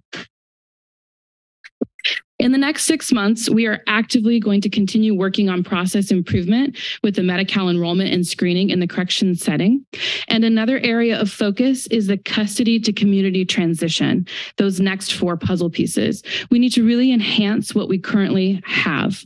In the jail, programming is offered to support rehabilitation, but more focus on that transition space and connection to behavioral health, enhanced care management, and community supports will require dynamic collaboration and planning. This in alignment with a focus on behavioral health payment reform and data sharing working towards one person, one record will be pivotal in meeting the CalAIM mandates and enhancing the wellness of our justice involved community members. By focusing on strengthening our services, we will grow the enhanced care care management program and use standardized screening and transition tools for behavioral health. As noted, collaboration is key for this initiative. Our governance committee executive leaders have closing comments for your consideration. I'd like to introduce for the Sheriff's Office, Chief Dan Freitas.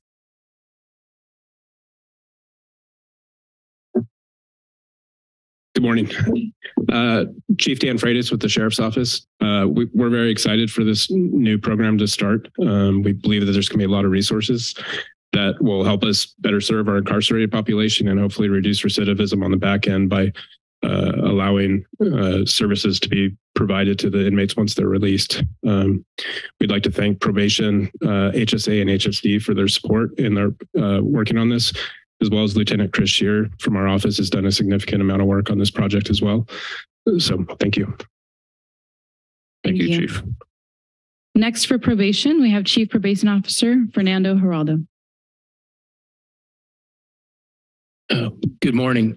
Um, first of all, I do want to thank Jennifer Herrera and Amanda for really helping us coordinate this effort and really learn how it will impact and benefit uh, those in our community, particularly of interest for me, well, everybody in the community, but uh, my role is overseeing individuals in the justice system, both adult and juvenile justice system. This will impact uh, juveniles as well. We'll be able to enroll them in Medi-Cal. It's critical that 90 days prior to release that individuals can have critical access to those uh, behavioral health and physical health services that they need to ensure a smooth transition back into the community. And again, uh, so we can see them succeed and not recidivate. Uh, these, the dollars that can potentially come to probation departments across California will help fund uh, what are quote coordinators or enrollment specialists. That's what's real critical to identify those individuals immediately and be able to enroll them. Um, probation's role is as a connector in the justice system. We'll be able to connect these individuals to our partners to receive those critical services. So again, thank you. And we're really looking forward to how this will help our, our individuals uh, in the criminal justice system who are disproportionately individuals uh, of, of color uh, coming from uh, uh, communities um, disproportionately living in uh, poverty. So this will really help. Thank you. Thank you, Chief. Thank you. And next we have the Human Services Director, Randy Morris. Thank you, Amanda and Jen. Um, and hi, board members, if you're overwhelmed, you are not alone. This is one of the most complex but most profound reform efforts in California's safety net, how to fund Medicaid. So this is important work and the staff will continue to try to understand this and share it and educate ourselves and you. I just want to share two quick touch points with you that are very specific to human services. Everything that you heard about assumes that somebody is on Medi-Cal want to make sure your board is aware that over the last three years, due to federal and state waivers, people who are on Medi-Cal did not have to do their annual renewal. And what that meant is throughout the United States of America, people who are on Medi-Cal and then often about 25% of people on Medi-Cal lose their coverage at the time of yearly renewal, mostly the most disadvantaged. For the last three years, nobody has dropped on Medi-Cal. So our numbers have gone up from the high 60,000s to 92,000 we those waivers have ended. So over the next year, there are 92,000 people in our community have to go through a renewal process. And if they lose their Medi-Cal, they do not have the opportunity to take advantage of these services. The second and last touch point I want to share is I will be back in front of you in August for the six month report in from the Housing for Health Division with Dr. Robert Ratner. We have been talking about the unstable funding we have in Housing for Health, one time grants that are going to expire.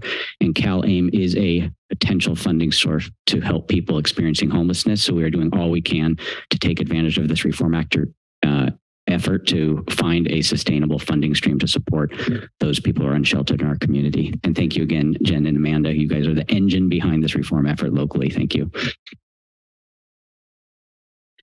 Monica, sorry. Didn't know if you wanted any closing statements. Thank you. Call me off guard there, Amanda. Um, uh, you know, this is just summarizes our commitment across the county from the different departments. The recommendation here for you is to accept and file this report and obviously for us to come back at the end of the year in December to give you an update on what we're learning. Uh, specifically for me is also our work with our contractors. I anticipate you're going to be getting some emails, some phone calls on the way that uh, CalAIM changes will impact them as well. So we're hoping to come back to you in December uh, with more updates, specifics on what we're seeing in terms of the finances, specifics on the programming pieces, and also uh, this, the capacity that we have and most likely we're going to need as this rolls out. I think it'll bring it back to the board for questions. I, I do have a, just a, uh, an initial question. I mean, obviously the state, the state's putting forward a lot of transformational uh, initiatives at once in the in the greater health and behavioral health space. So oftentimes the one-time funding, this is more of a structural reform than a one-time funding situation. But maybe Director Morales, uh, what are your biggest concerns or fears with this transition? What flag should we be concerned with as we do the transition? most, uh, two key areas the staffing. Um, as you know, we've been struggling. Every department in this county, and actually all the counties, are struggling with staffing. So it means more care coordination. It also means more behavioral health specialists and clinicians. Um, that's a big concern in order for us to transition and truly embrace the opportunities of CalAIM. The second is the rate changes. Um, as noted, we've received uh, rate change information starting early this year. And the last information we received on one of the rates was in April uh, 21st. So we literally have to have all this figured out by July 1st. As you know, that's not going to happen. So I'm already apologizing ahead of time for some of the hiccups that we know we're going to have to all go through uh, through together.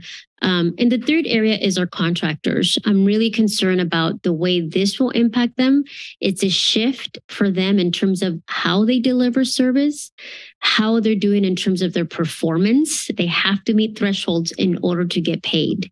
And we've been flexible before around that, and we will no longer have that flexibility.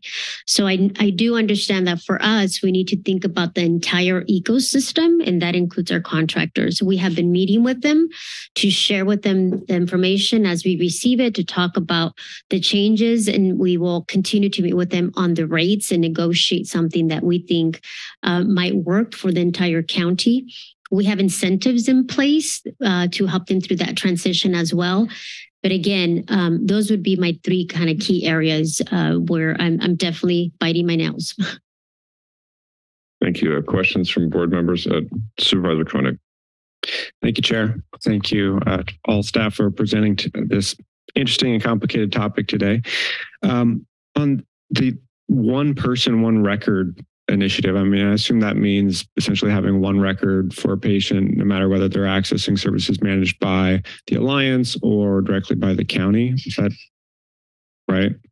Yeah, the idea is that there's more um, information sharing on our clients, um, and you don't have to actually one lose information across department or systems, or have the whole comprehensive profile of where a client is. Concept is that you're able to better assess if there is a gap in services that they're actually eligible for. Um, and also the data integration piece is going to be key for us. And I'm not sure if um, Jennifer or Amanda want to address any of those pieces.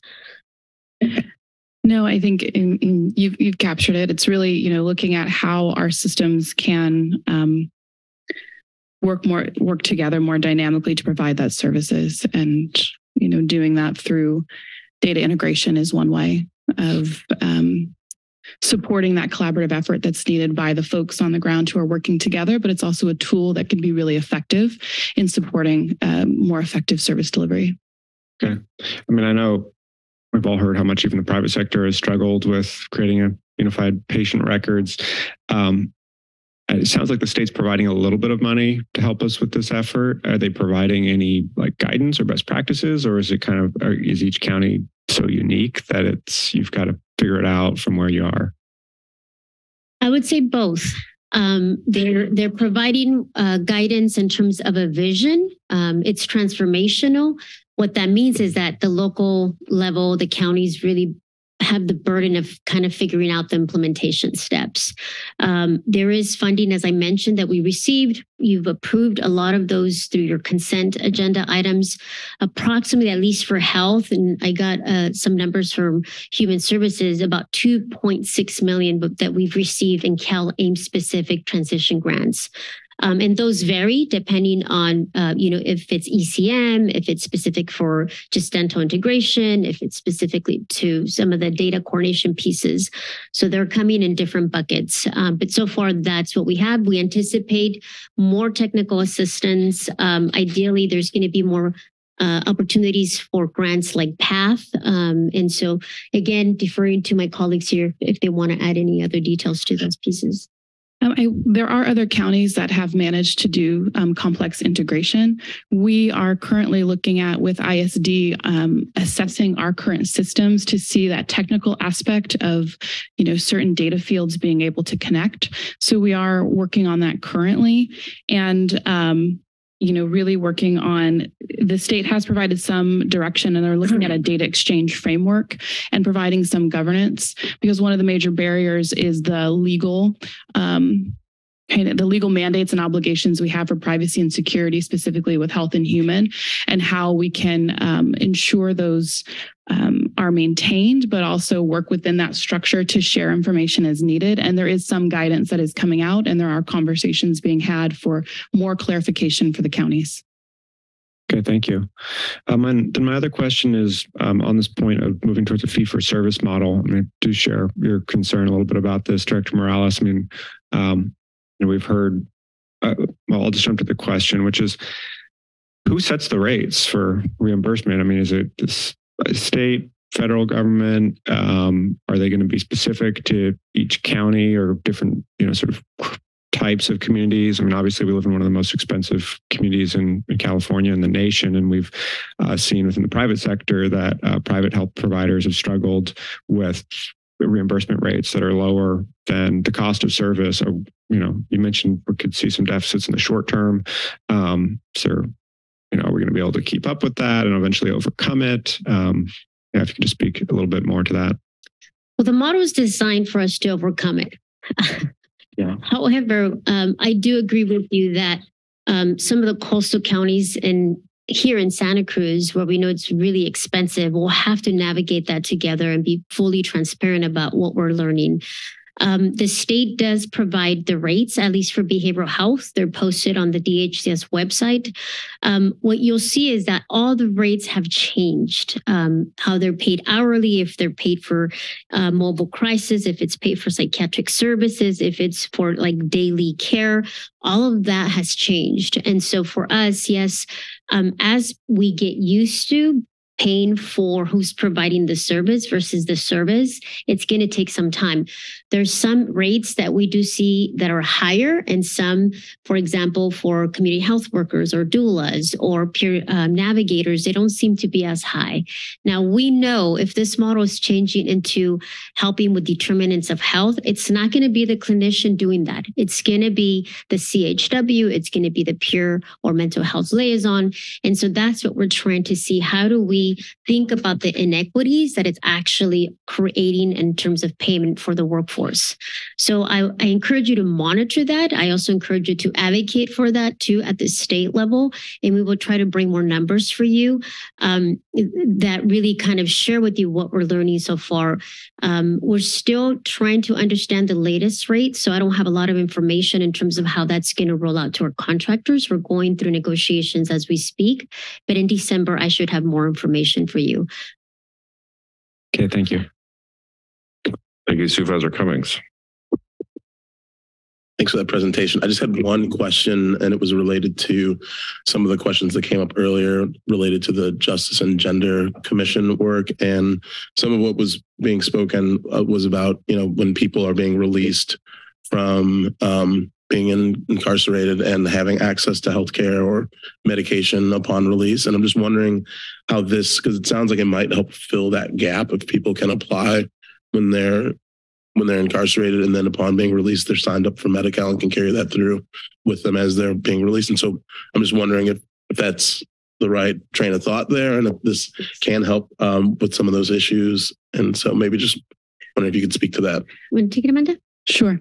Um, yes, this will help with that. So those, you know, coordinating with our, you know, enhanced care management with um, those community supports, and then this next iteration or phase we'll be focusing on for planning is that transition space of custody to community. How are folks exiting within that 90 days of starting to receive services while they're in custody, and then moving out into the community with those services intact. So that's what we'll be planning on um, these next few months and moving you know forward with that initiative. great well, looking forward to hear how that rolls out Any other questions? Yeah, uh, yeah, I just had a couple of comments. Um, and thank you to Health and Human Services, Probation, and the Sheriff's Department for uh, this collaborative effort that's absolutely necessary. Uh, it's a tall order for counties. Um, one of the most complicated and challenging that I uh, think we're facing in my 10 years as a county supervisor. Um, and the state's efforts um, are meant to improve health outcomes, and we all want that. But uh, we really have to lay the groundwork locally of how this best fits us, and it could be different from other counties, as was stated. But it will really be important to track whether the resources development uh, available uh, the state resources available from uh, to implement these updates uh, keep up with the actual costs. Uh, I just hope to have high hopes that we don't have to deal with what's called unfunded mandates coming down from the state because um, uh, this is going to be a costly venture. It's going to be uh, one that really deserves uh, our attention when it serves a third of our county. Um, I look forward to the next update and um, how we're doing on that. And I want to thank the team for this cross departmental coordination. It's absolutely necessary. Um, I, I think that um, this is one of the biggest things that we have to work with uh, in our county to serve a third of our county, a high percentage of our population. So thank you for your efforts to date.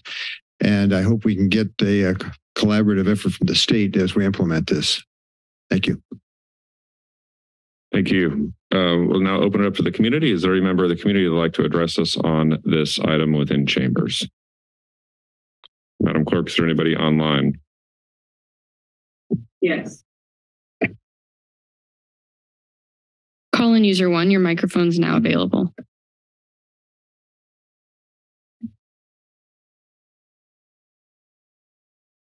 Carolyn Garrett, as I listen to this convoluted system here, I hear words like feeling overwhelmed, uh, complex, different budgets, um, the complex medical system, on and on.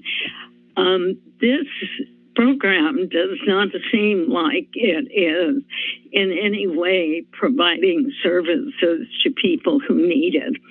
And what people really need for mental health or good health outcomes is healthy diet, good food, housing, employment, an environment in which they're not poisoned by chemicals or radiation.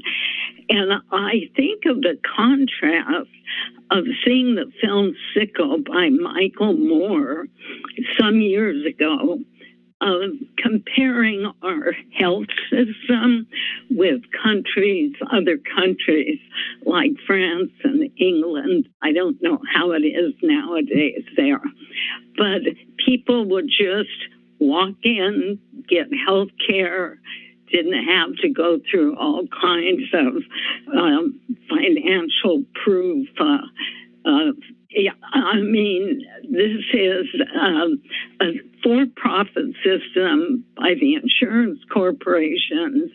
And um, what I've heard about single payer health care sounds much better. And I also remember in 1966 being in the former Soviet Union with my then husband, and he got sick. They healthcare people came to the hotel, all free taken care of, very nice. This system does not help people. Thank you, Ms. Um, Garrett. Is there anybody else online, Madam Clerk? We have no further speakers online, Chair. I recognize we do have some in chambers. Thanks for sticking with us. Welcome back. Hi, um, my name is Katie Mayetta, and I actually am a consultant that implements CalAIMS across California, and I've been doing it for um, a little bit now. I just want to be very clear that um, we're not starting from scratch in Santa Cruz County. Um, we are, we've actually been implementing CalAIMS in different forms for quite some time, and the probation department is part of that, um, as well as the sheriff's department and um, behavioral health. So we've been trying to implement these programs through Prop 47, um, trying to uh, develop these transitions from um, from incarceration. The collaborative courts have been a huge part of that. We've had whole person care, which was the pilot that CalAIMS is stemming from, that is continuing, that's now providing the enhanced care management. We've also had um, the other programs which we've implemented, um, Drug Medi-Cal, which is our organized delivery system, which is now CalAIMS implementation. That was part of the pilot that now we're implementing. So we're not starting from nowhere, um, which other counties are that have not opted into those programs. We actually have all of those things established. Now we're just trying to implement all the other stuff too. So we're not starting from scratch. We have the collaborations that other counties don't have. We actually talk to each other, which is amazing. We all actually know how to work together. We know what um, we're doing. The problem is, is that what we're being asked to do is a really, really heavy lift, and it takes a lot, and it's going to take a long time. Um, the implementation of CalAIMS is over uh, five to seven year implementation, and so the state knows that. But we have come a long way, and we've been doing this already. We're just working out the kinks. Um, and it's going to take a little bit of time, but we're getting there. And because of our collaborations, I am so hopeful and I'm super excited about it because we've been talking about this change for like 20 years and it's here and it's really exciting and we can totally do it. And it's going to address all the issues in our community if we do it right. So we just need to do it right. Thanks. Thank you. Good morning. Yeah, good morning. My name is James Ewing Whitman. You know, I think most of the services that are offered are actually excellent. It's great when um, the state and federal government can do things for people that are actually really helpful. I think there's many things that people that for whatever reason get incarcerated, there's just lots of good systems to help. Now, last Tuesday in the city council, a subject came up as far as things going on where, let's see, I don't have the paperwork with me, but these are the notes I took as far as who can give someone else a 5150 in the state of California. All law enforcement can. Otherwise, there's a designation, a LPS individual, and that can be an individual in the county that usually is a undergraduate degree and a two to three year advanced degree, and then two years of a direct observation. So once again, all law enforcement can make this designation, as can someone with that training. But with someone with that training in the county can authorize anybody to also do that. So I'm going to repeat that law enforcement's job is about six times harder than when I was a young teenager. That's because the citizens seem to just blindly ignore like they're mesmerized or hypnotized, which seems to be the case. Now, several people who spoke here today, I guess I could mention names, but I'm not going to at this point. I've been hearing for years different things going on. We have so many issues with health that people aren't talking about. You know, the whole COVID scam for this lockdown, you guys all represent a, a corporation. the county. You work for the state and the government.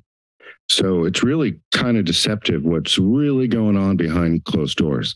So all this stuff, there seems to be a lot of positive things that were talked about. So let's try to work on that. Thank you. Thank you. Anybody else in chambers? All right, I'll bring it back to the board for a motion. I'll move the recommended actions. We have a motion from Supervisor Koenig, a second from Supervisor McPherson. Appreciation for the work. If we get a roll call, please. Supervisor Koenig, Aye. Cummings, Aye. Hernandez, Aye. McPherson, Aye. and Chair Friend. Aye. That passes unanimously. We will now take our ten forty-five scheduled zone five item. Um, Director Brown, I think you are on zone five. So if you want to come on forward and we will, I'll pass it over to our zone five chair uh, Supervisor Koenig. Thank you, Chair Friend. Just wait for Director Brown to get seated. Good enough.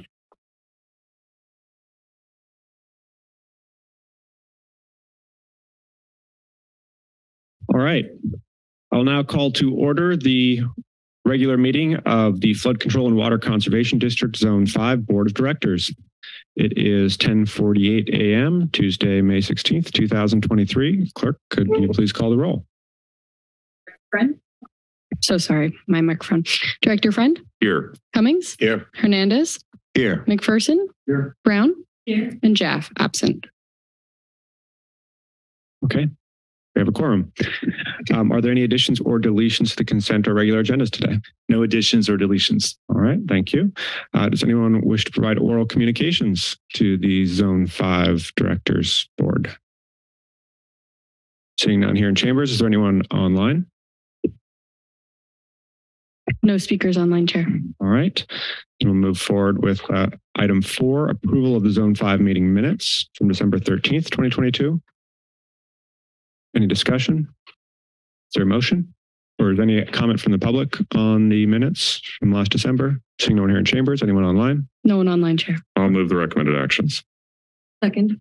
All right, motion by Director Friend, second by Director Brown to approve the minutes. Any further discussion? Seeing none. Roll call vote, please. Director Friend, Aye. Cummings, Aye. Hernandez, Aye. McPherson, Aye. Brown, Aye. and Chair Koenig. Aye. All right, motion passes unanimously. We'll proceed with item five, action on the consent agenda. Does any director have comments on the consent agenda or questions? Seeing none, any member of the public wish to comment on the consent agenda? Seeing no one here in chambers, is there anyone online? No one online, Chair. All right, we'll turn to the board for action. I'll move consent. Second. Motion by Director Friend, second by Director Cummings. Any further discussion? Seeing none, clerk, roll call vote, please. Supervisor Friend, Aye. Cummings, Aye. Hernandez, Aye. McPherson, Aye. and Brown, Aye. and Koenig. Aye. Motion passes unanimously. All right, we'll move to our regular agenda. Item H to consider approval of the proposed fiscal year 23-24 Zone 5 and Zone 5 expansion construction budgets as outlined in memorandum of the district engineer. District Engineer Machado, do you have a report for us? Yes, thank you, Chair and Directors. Uh, Matt Machado, your district engineer. And so the item before you today is our 23-24 Zone 5 budget. It really contains two uh, significant components. It, it includes our maintenance and operation uh, portion of the budget, and then our, we call it our expansion construction. It's really development that occurs in the zone. Um, the key elements of each of those, so maintenance and operation uh, is really funding crew time to do channel maintenance and uh, pipeline maintenance in the district. And then the expansion construction is really to do permit processing and and uh, plan check reviews for development that's in the zone. Combined uh, together, the uh, proposed budget t- today before you uh, is in the amount of three million eight hundred twenty-eight thousand eight hundred sixty-one dollars. And historically, we bring this budget to you before uh, the county budget, which will be the end of May. Uh, so this is just an advanced look, uh, but the the uh, recommended action before you is to consider approval of the proposed 23-24 Zone 5 uh, construct um, budgets. So I'm here to answer any questions that you may have. Thank you. Questions from directors? All right. So now I do have one question, which is on the uh, master plan for Zone Five. Of course, we've gained a little bit more interest since uh, the floodings that we saw on Soquel Creek during the atmospheric river storms this January through March. Um, do you have a sense of when the public engagement process for that master plan will begin? Yeah, great question. Uh, that will be this year. Uh, we're wrapping it up now, and we're pretty excited about. It. Not only is it a master plan of the infrastructure, it will also include a uh, capital improvement type program uh, to to give us a guidance of where we should go, where we should invest, how we should uh, finance uh, all the needs of the district. Many of the district uh, facilities or facilities that are a little bit obscure in terms of ownership, we'd like to settle that through this master plan and CIP effort. And so our vision is to have that this summer. And so uh, we will share timelines and schedules with your board. Great. I'm glad to hear that this master plan includes a slightly expanded scope of work and we'll look at some of those capital project opportunities. Yes. Great. All right. If there's uh, no further questions from the board, anyone in the public wish to comment on this item? Seeing no one here in chambers, is there anyone online on the No phones? speakers online, online chair. I'll return it to the board for action. I'll move the budget. I'll second. Oh, go ahead. I'll second. Okay, motion by Director Cummings, second by Director Brown. Any further discussion? Seeing none, clerk, roll call vote, please. Director Friend. Aye. Cummings. Aye. Hernandez. Aye. McPherson. Brown. Aye. And Chair Koenig. Aye.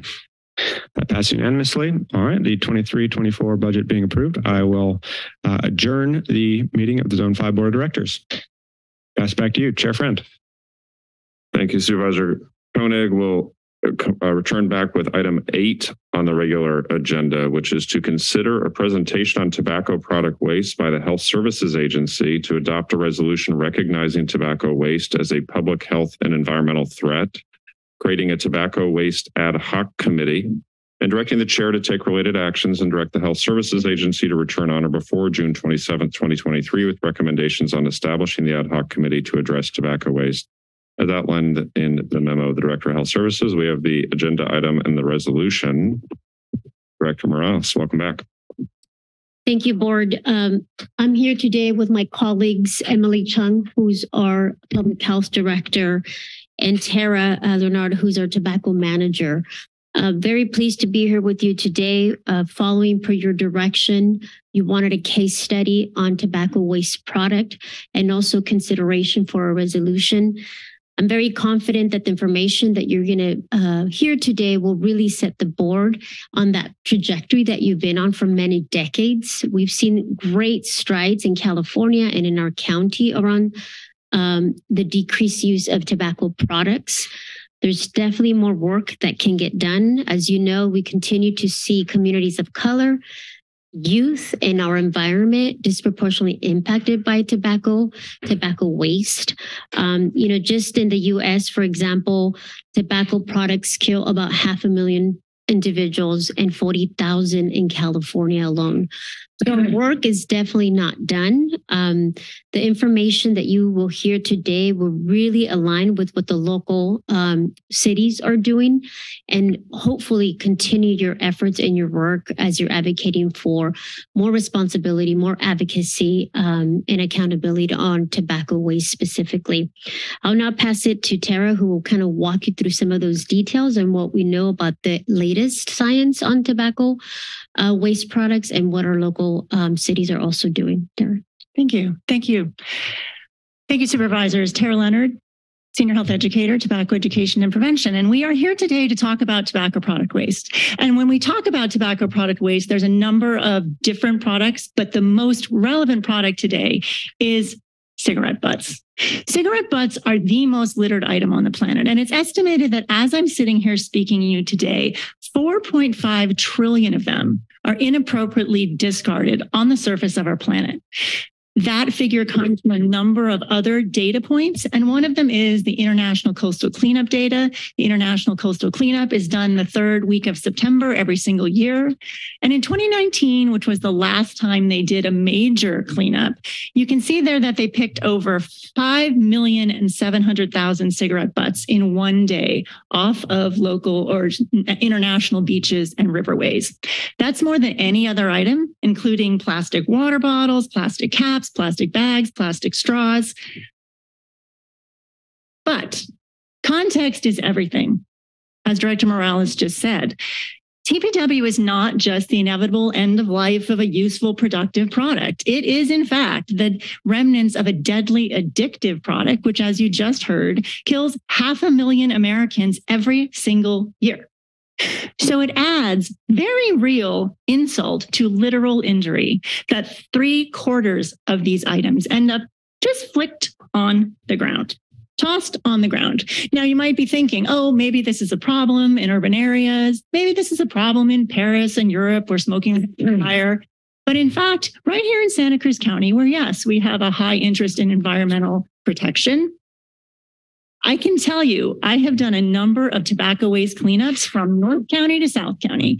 And everywhere we go, cigarette butts are a blight on our streets, on our parks, and on our beaches.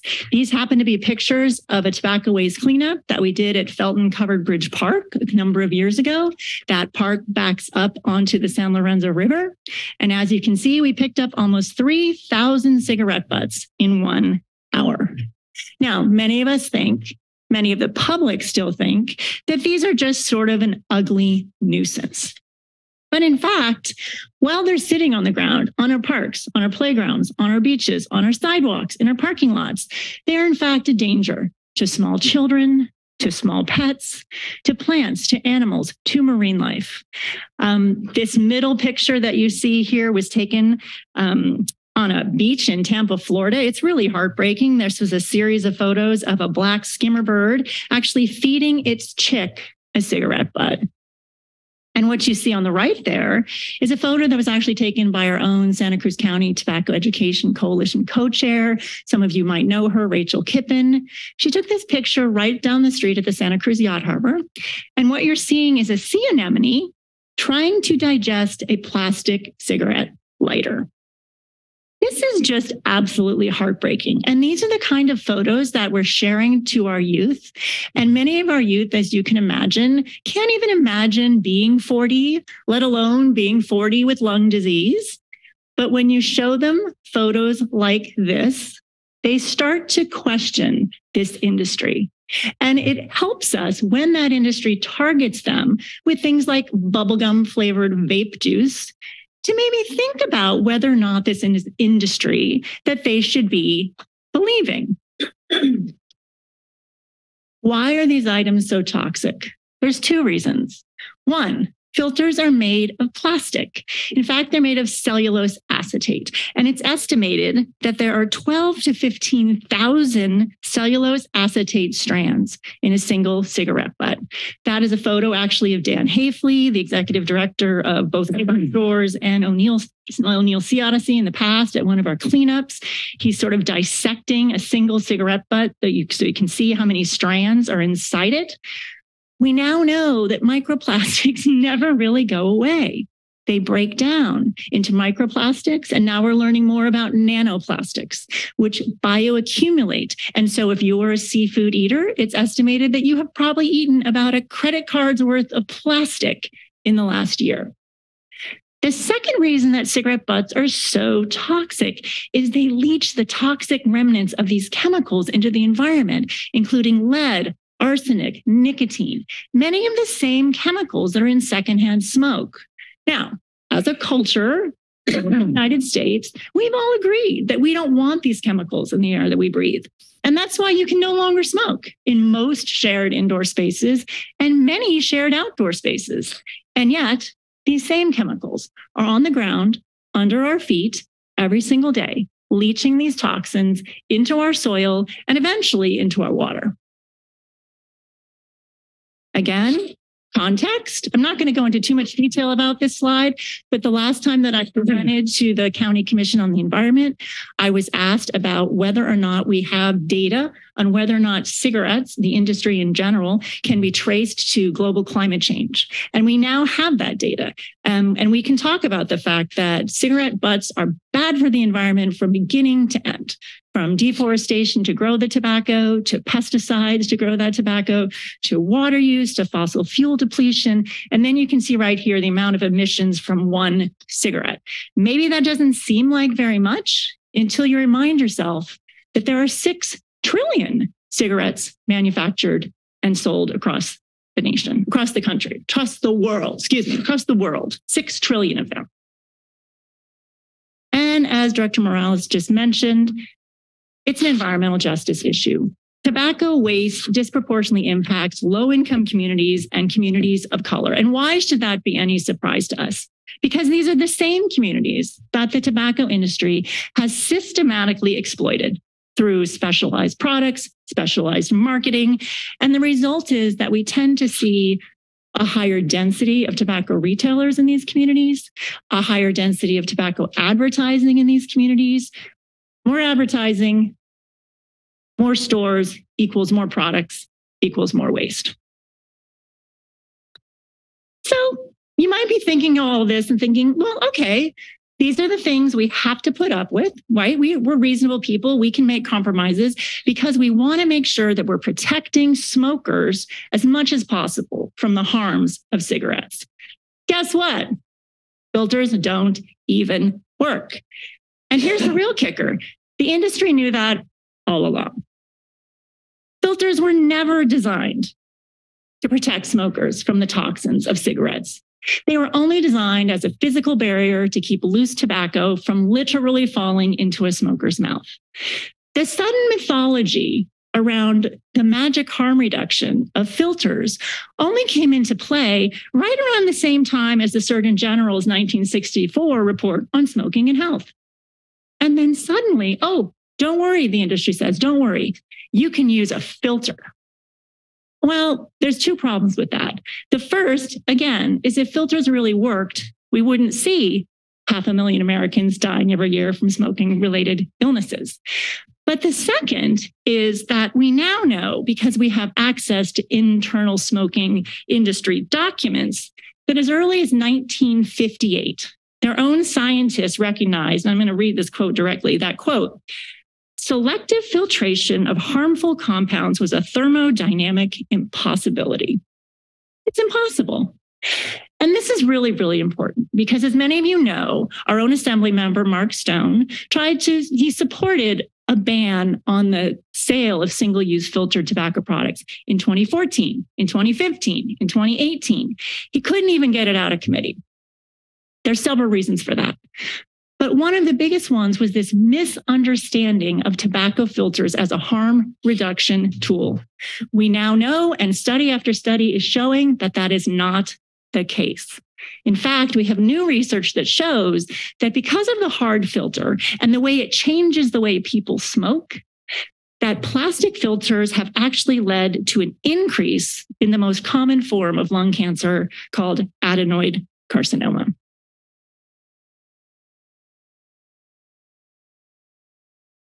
We also know recently that we have a new source of waste, which is electronic cigarettes.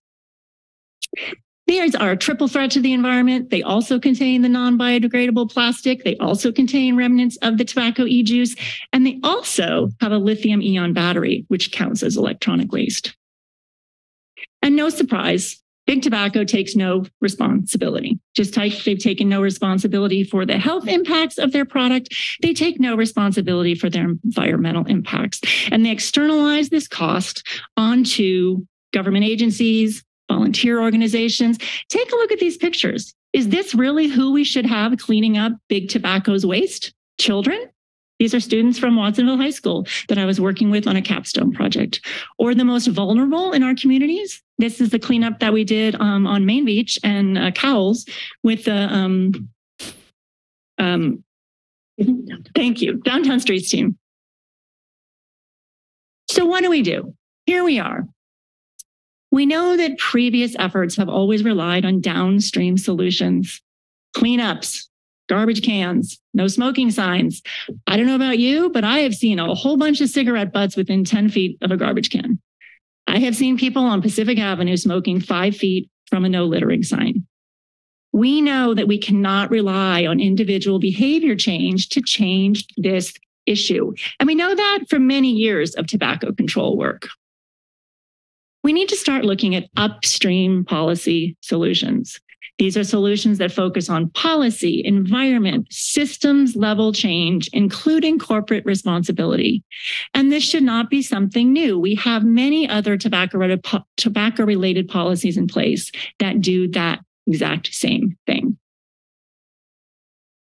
There are tobacco product waste policy examples. Several California jurisdictions, including our neighbors to the south in the city of Watsonville, have banned the sale of all electronic smoking devices. Many other jurisdictions in California have banned the sale of single use electronic smoking devices. These are things like Puff Bar and Vapor Lax, which literally come preloaded with a certain amount of e-juice. They are not refillable. You use them until that juice is gone, and then you just throw them out. As you know, the cities of Santa Cruz and the city of Watsonville have passed resolutions recognizing tobacco product waste as a public health and environmental threat.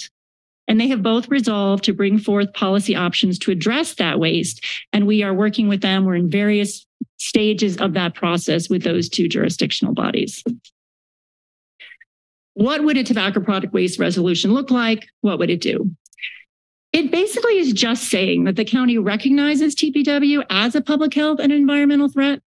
It provides an opportunity to gauge local support. It encourages different types of data collection, which might include financial analysis, community outreach to both community members and tobacco retailers. And it supports community collaboration. I appreciate that one of the things that has been suggested in this resolution is talking about cross jurisdictional communication and action. It might specify current action, what you are willing and able to do right now. And it can also lay the groundwork for future action.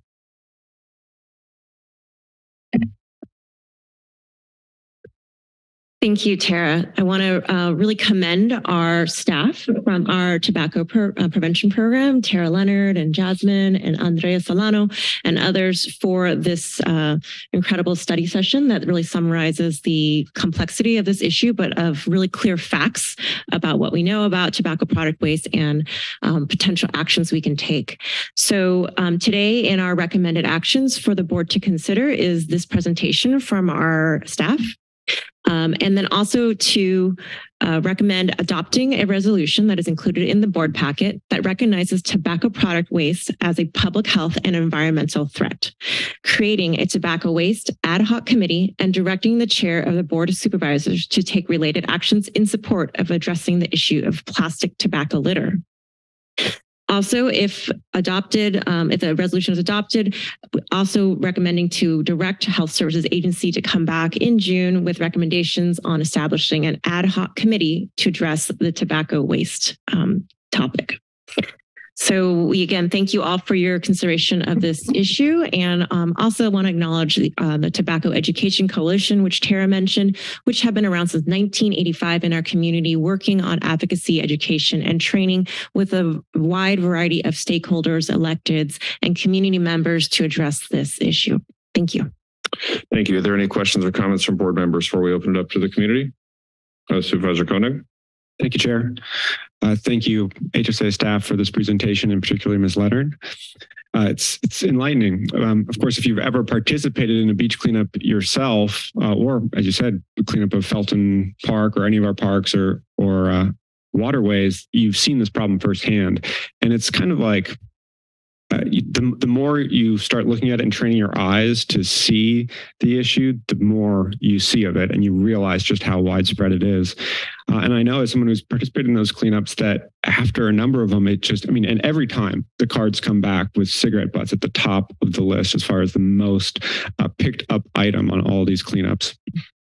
Um, and especially when you're doing these cleanups with our youth um, and other folks, you, you just feel like we've we've got to do something about this not only because it's the right thing to to, to do but to demonstrate to uh, to youth and everyone in our community that we're able to make laws to prevent this kind of toxic waste from entering our environment so we are the people of Monterey Bay Sanctuary, and I think we have to stand up and tell the world how this is impacting our wildlife and our environment. We're we're the ones seeing it firsthand. I don't think that people littering cigarette butts are doing it out of malice. I think they're just doing it out of ignorance and maybe not realizing that this is in fact toxic waste. So our role here is to help educate them and ultimately to prevent corporations from needlessly doing this harm to our environment. That's fundamentally government's role is to ensure that the private sector operates in a way that is beneficial for society and not harmful. I think also our county has done a lot to uh, be a leader as far as plastic waste goes. Um, and actually on the tobacco issue in terms of banning flavored tobacco uh, banning single-use plastic bags, addressing the single-use cup issue. Um, and so having seen this effort failed at the state multiple times, uh, we have no choice but to address it at the local level. So I'm very supportive of the resolution today and um, next steps as well. Thank you. Thank you, Supervisor Cummings.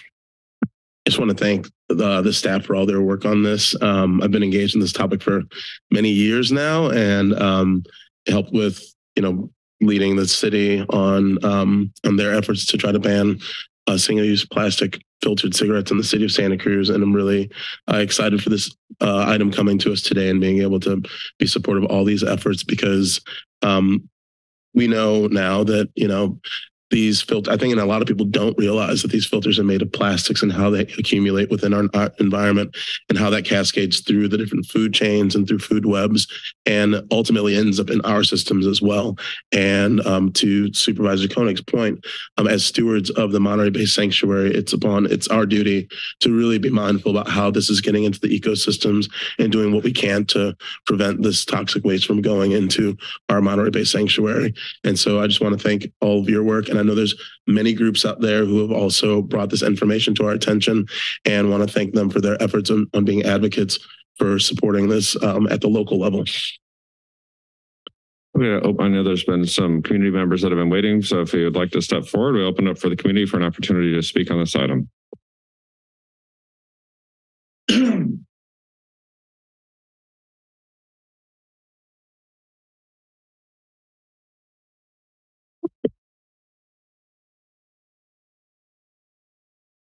Good morning.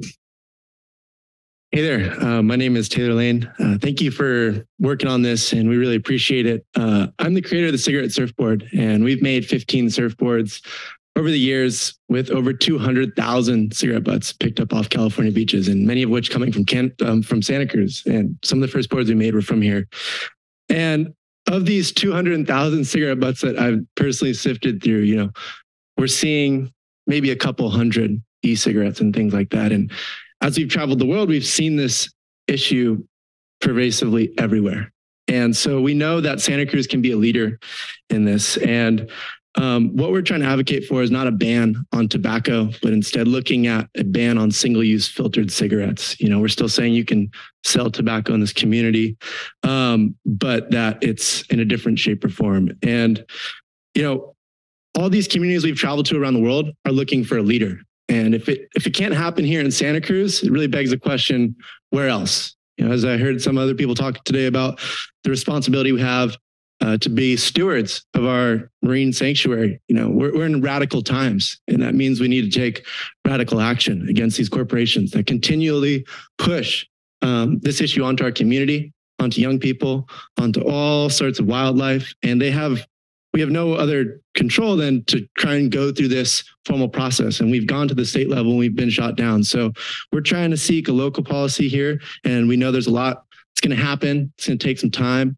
Um, but really, you know, we thank you for for coming here. And um, it's it's really our duty uh, as the next generation, you know, we're we're bearing this burden on our shoulders, and we hope that you guys can push forward with something in the future uh, that'll really hold these corporations accountable for the waste, because it's just con man stuff that they're doing, and we don't deserve to take on that burden. So, thank you for your time. Thank you. Good morning. Good morning, supervisors. Um, my name's Allie Webster. I'm chair of our local Surfrider Foundation chapter, um, Santa Cruz chapter. Nice to see some new faces. And I'm really excited to be here and not talking about the local coastal program. um, Surfrider Foundation would like to um, express their support for the board to adopt this resolution before you. Um, I won't get into all these details that we've already been talking about, but I do encourage anyone who hasn't already to just look around you as you walk through the parking lot this evening um, and see that these cigarette butts are everywhere. Um, once a committee is formed, we highly encourage the committee to consider focusing on the, the specific issue of single-use plastic cigarette filters as a start to this local path against tobacco waste. Focusing on this one issue makes the endeavor far more achievable and far less divisive. It also has the potential to force the hand of big tobacco to consider alternatives to plastic and ripple change across the country and the world in the same way that our styrofoam and straw bans have created change throughout forcing through forcing large companies to explore alternatives. Surfrider, partnered with Cigarette Surfboard and other nonprofits and individuals, is looking forward to working with the board and providing you with proof of public of public support that is needed to move this issue forward with the ultimate goal of the ban on single-use cigarette filters in Santa Cruz County. Thank you for making time for this issue. Thank you. Thank you for waiting for the item. Good morning. Welcome. Good morning. Good morning, supervisors. My name is Tyler Fox, and I'm a Save uh, Save the Waves ambassador here, as well as the founder of Santa Cruz Waves and I am here in support of this um, this research, more research, and uh, an all-out ban on um, cigarette filters or the butts. Um, they are such a small issue, but I, I'll never forget a video I saw where they dropped one in a fishbowl, little goldfish bowl, and that goldfish fish died. You know, so they're they're toxic, and um, you know, I think we have an opportunity to really uh, show the rest of California coast and the world that we're not going to stand for this and that we can really make positive change that will ripple um, throughout communities all over the world. So thank you so much. Thank you. Anybody else in chambers? Okay, is there anybody online? Yes, Chair. Call in user one, your microphone is now available.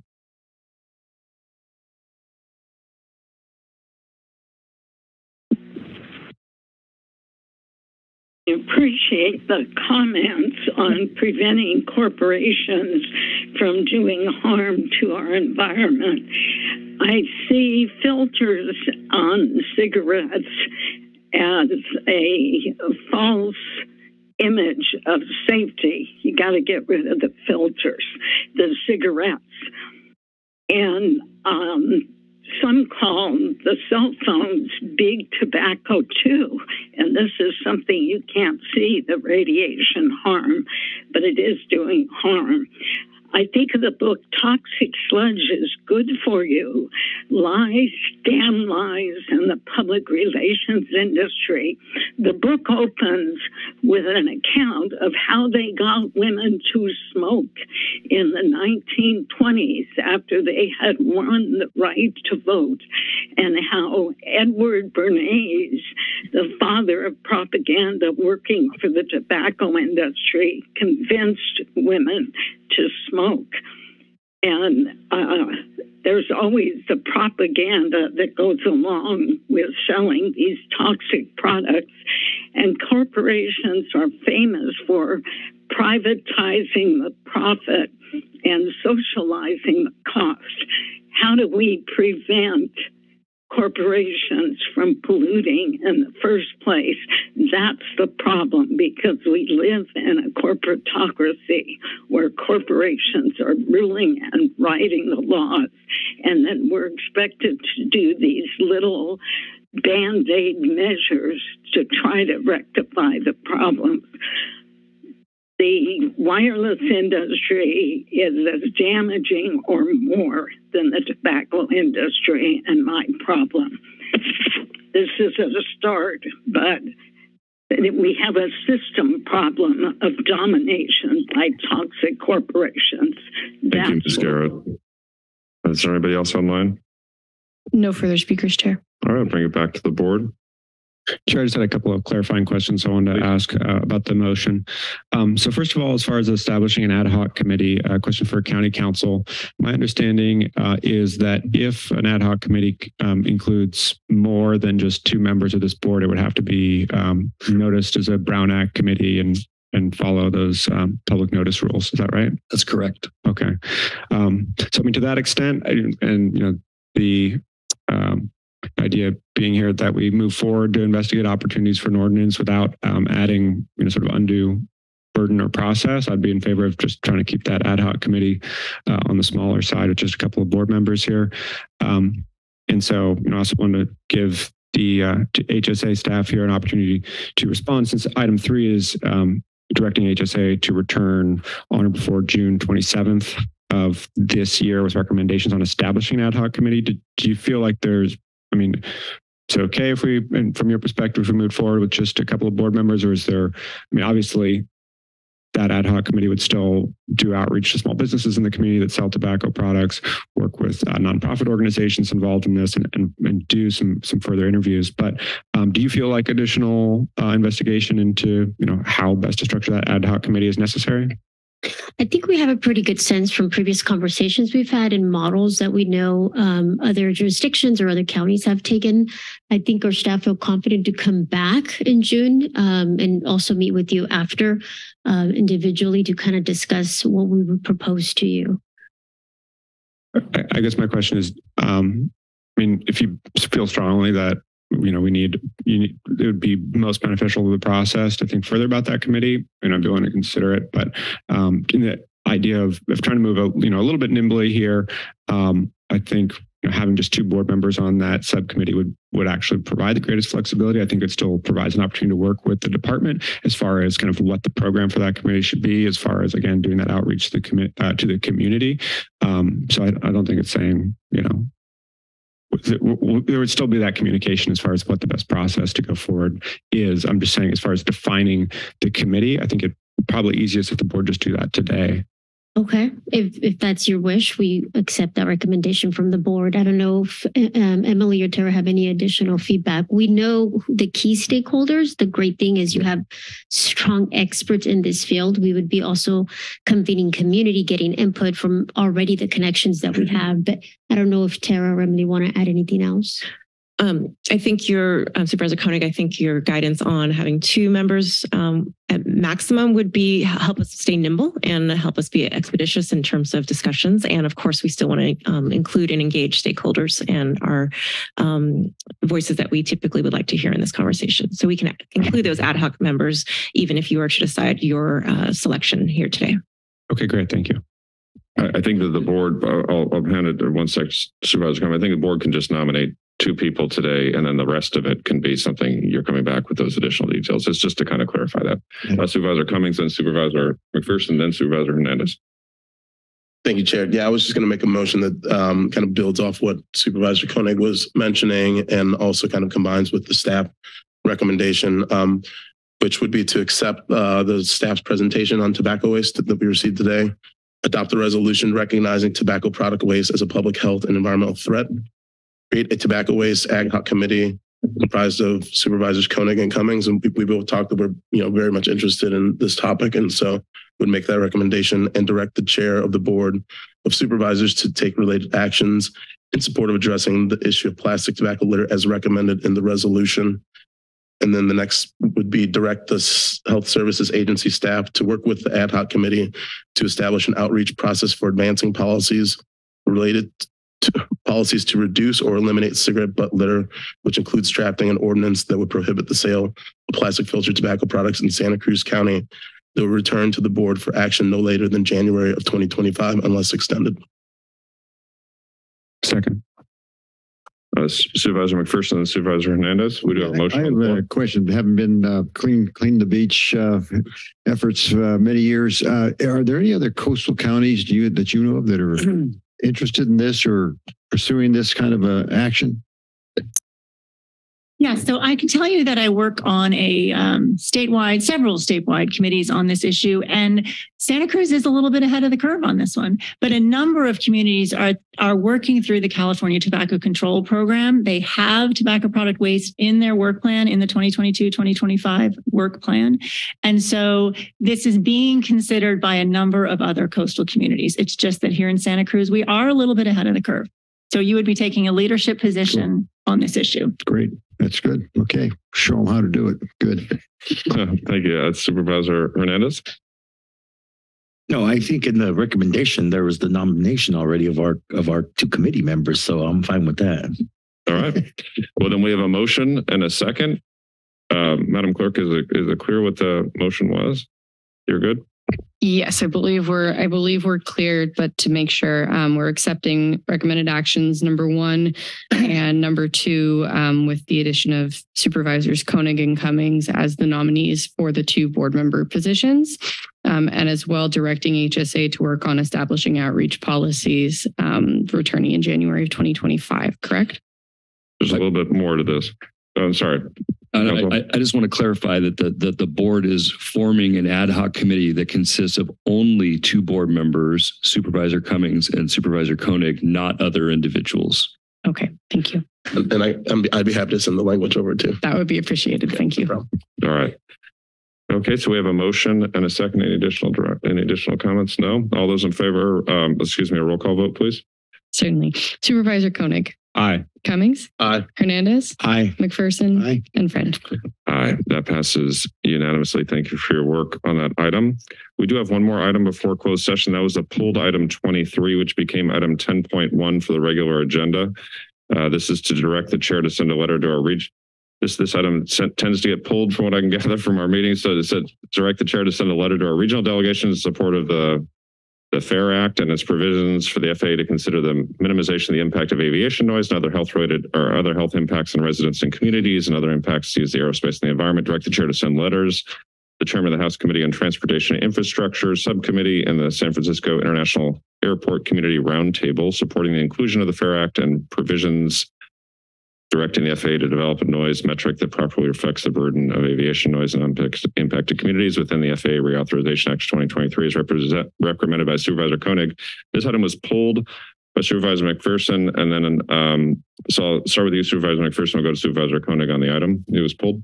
Sure. Yeah. Thank you, Mr. Chair. I pulled this item today because after reading the letters from other jurisdictions that were included in our packet, uh, I'm concerned about sending the wrong message to our congressional leadership. I don't believe the county can speak with one voice on this issue, which is directing the chair to write a letter that would indicate that. I served on the Congressional Select Committee that made recommendations to the FAA several years ago after the FAA deplo- deployed the transition from the BSR path to the SERFR path without a community process. Um, as someone with constituents living under both paths, I have long argued that the FAA should mitigate noise in all parts of the county to the greatest extent possible and not just move noise from one part of the other. That was a real theme of the two years process that we have. Just don't move the noise. But for me, these letters and the legislation itself seem to carry the expectation among some residents throughout the county uh, in the region that the FAA should be required to retroactively review existing flight paths as a result of new noise metrics and other operational policy changes. Um, there's also no clarity about how the noise issue should be prioritized alongside the FAA's goals regarding safety and fuel efficiency, especially considering the climate change uh, generated by green, greenhouse gas emissions. So I'm not in support of our chair writing a letter on behalf of the county at this time due to those uncertainties. And instead, in all due respect, I would remind us that individual supervisors can write letters in support of this as they see fit. But I don't think the county as a whole should do that. Supervisor Koenig. Thank you. Yeah, um, totally respect your experience on this issue, Supervisor McPherson, and uh, hear you when you say we don't want to just move the noise from one part of the county to the other. Um, and that's why I saw this opportunity in supporting the FAIR Act uh, as a way to stand up for the FAA, just taking into account its impact on communities to a greater extent without advocating for any particular flight path uh, or another, right? Um, really, we've seen this as an issue throughout the country um, with communities in Arizona and Southern California and other parts of the country suing the FAA for not uh, conducting an environmental impact report. And actually, they've won. Um, and so Congresswoman Eshoo stepped forward and introduced this FAIR Act um, really as part of the uh, 2023 FAA uh, Reauthorization Act. So basically, the, uh, the FAA gets funded every five years. Um, and so this is an opportunity to tie some greater accountability to that funding. Um, and I think it's just a good opportunity for our county, again, not to advocate for any particular flight path so much as just that the FAA um, takes a greater consideration into the impact it has on residents when uh, it sets these flight paths. Supervisor Cummings. Yeah, I just want to express um, my appreciation for um, Supervisor Koenig bringing this to our attention. Um, I do, however, share some concerns because I know that when this was when this item came to um, the the county and the city's involvement in it, that it was a very controversial item, and um, and I think that you know where it's at right now, I'd be much more comfortable just kind of seeing how this all plays out, um, rather than us all, you know, collectively taking a stance on this. Um, as Supervisor McPherson mentioned, you know, we can individually send letters, and I think that um, that would be appropriate because I, for for right now with um, with my district, I know that you know this while this was controversial, we're not getting that much feedback on this right now in terms of the flight paths and them being of any um, issue, and so I feel that I'd be much more comfortable kind of seeing this all play out and and um and maybe taking a pause and having us take collective action at this time. This item. Supervisor hernandez do you have anything to add? Oh. um out of curiosity just uh, on a matter of procedure in order for more than one board member to send a letter uh, together does that require or is it just if it were to be three or a chair action? Two, two board members could share could send a letter together if they wanted to send a letter. That would not be violative of, of the Brown Act or or anything else as long as they um, indicated that it was not on behalf of the board it was on right. behalf of their independent offices. However it would Brown Act them on this issue for uh, purposes of moving forward. Okay. All right I just also open it up to the community. Is there any member of the community that would like to address us on this item? Seeing none in chambers or anybody online? Yes chair Call in user one. Your microphone's now available.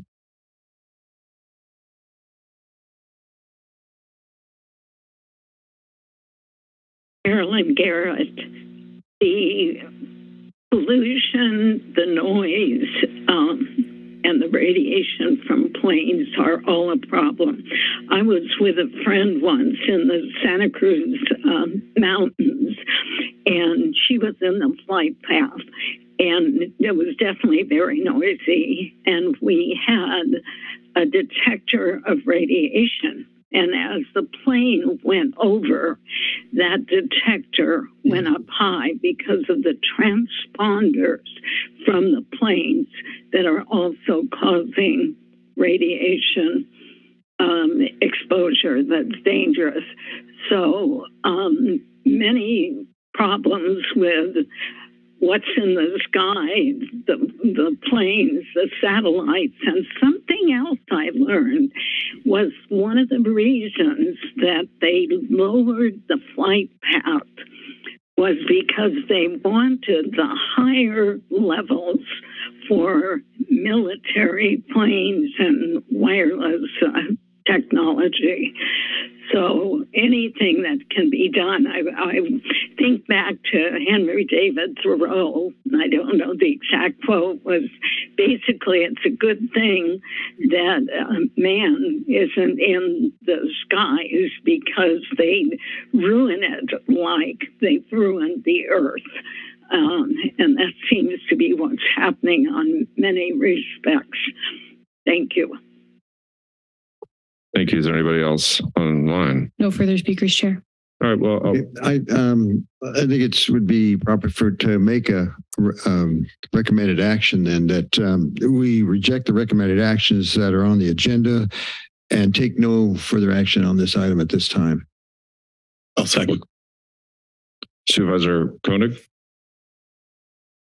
Um, well, I mean, I plan to vote against that motion. I, I do think that um, this provides an opportunity really for us to have some um, amount of consensus on this board. I mean, again, recognizing the the contention that we've experienced in the past when it says no, flight path should be here or there, or uh, you know, impact these or that those residents.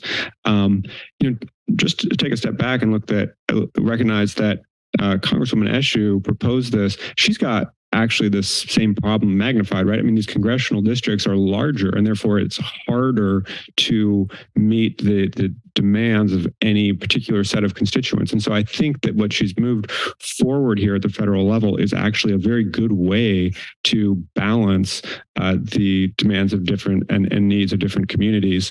Um, so this, um, the, of course, the whole board speaking as one um, does have a little bit more impact than just uh, an individual one or two supervisors.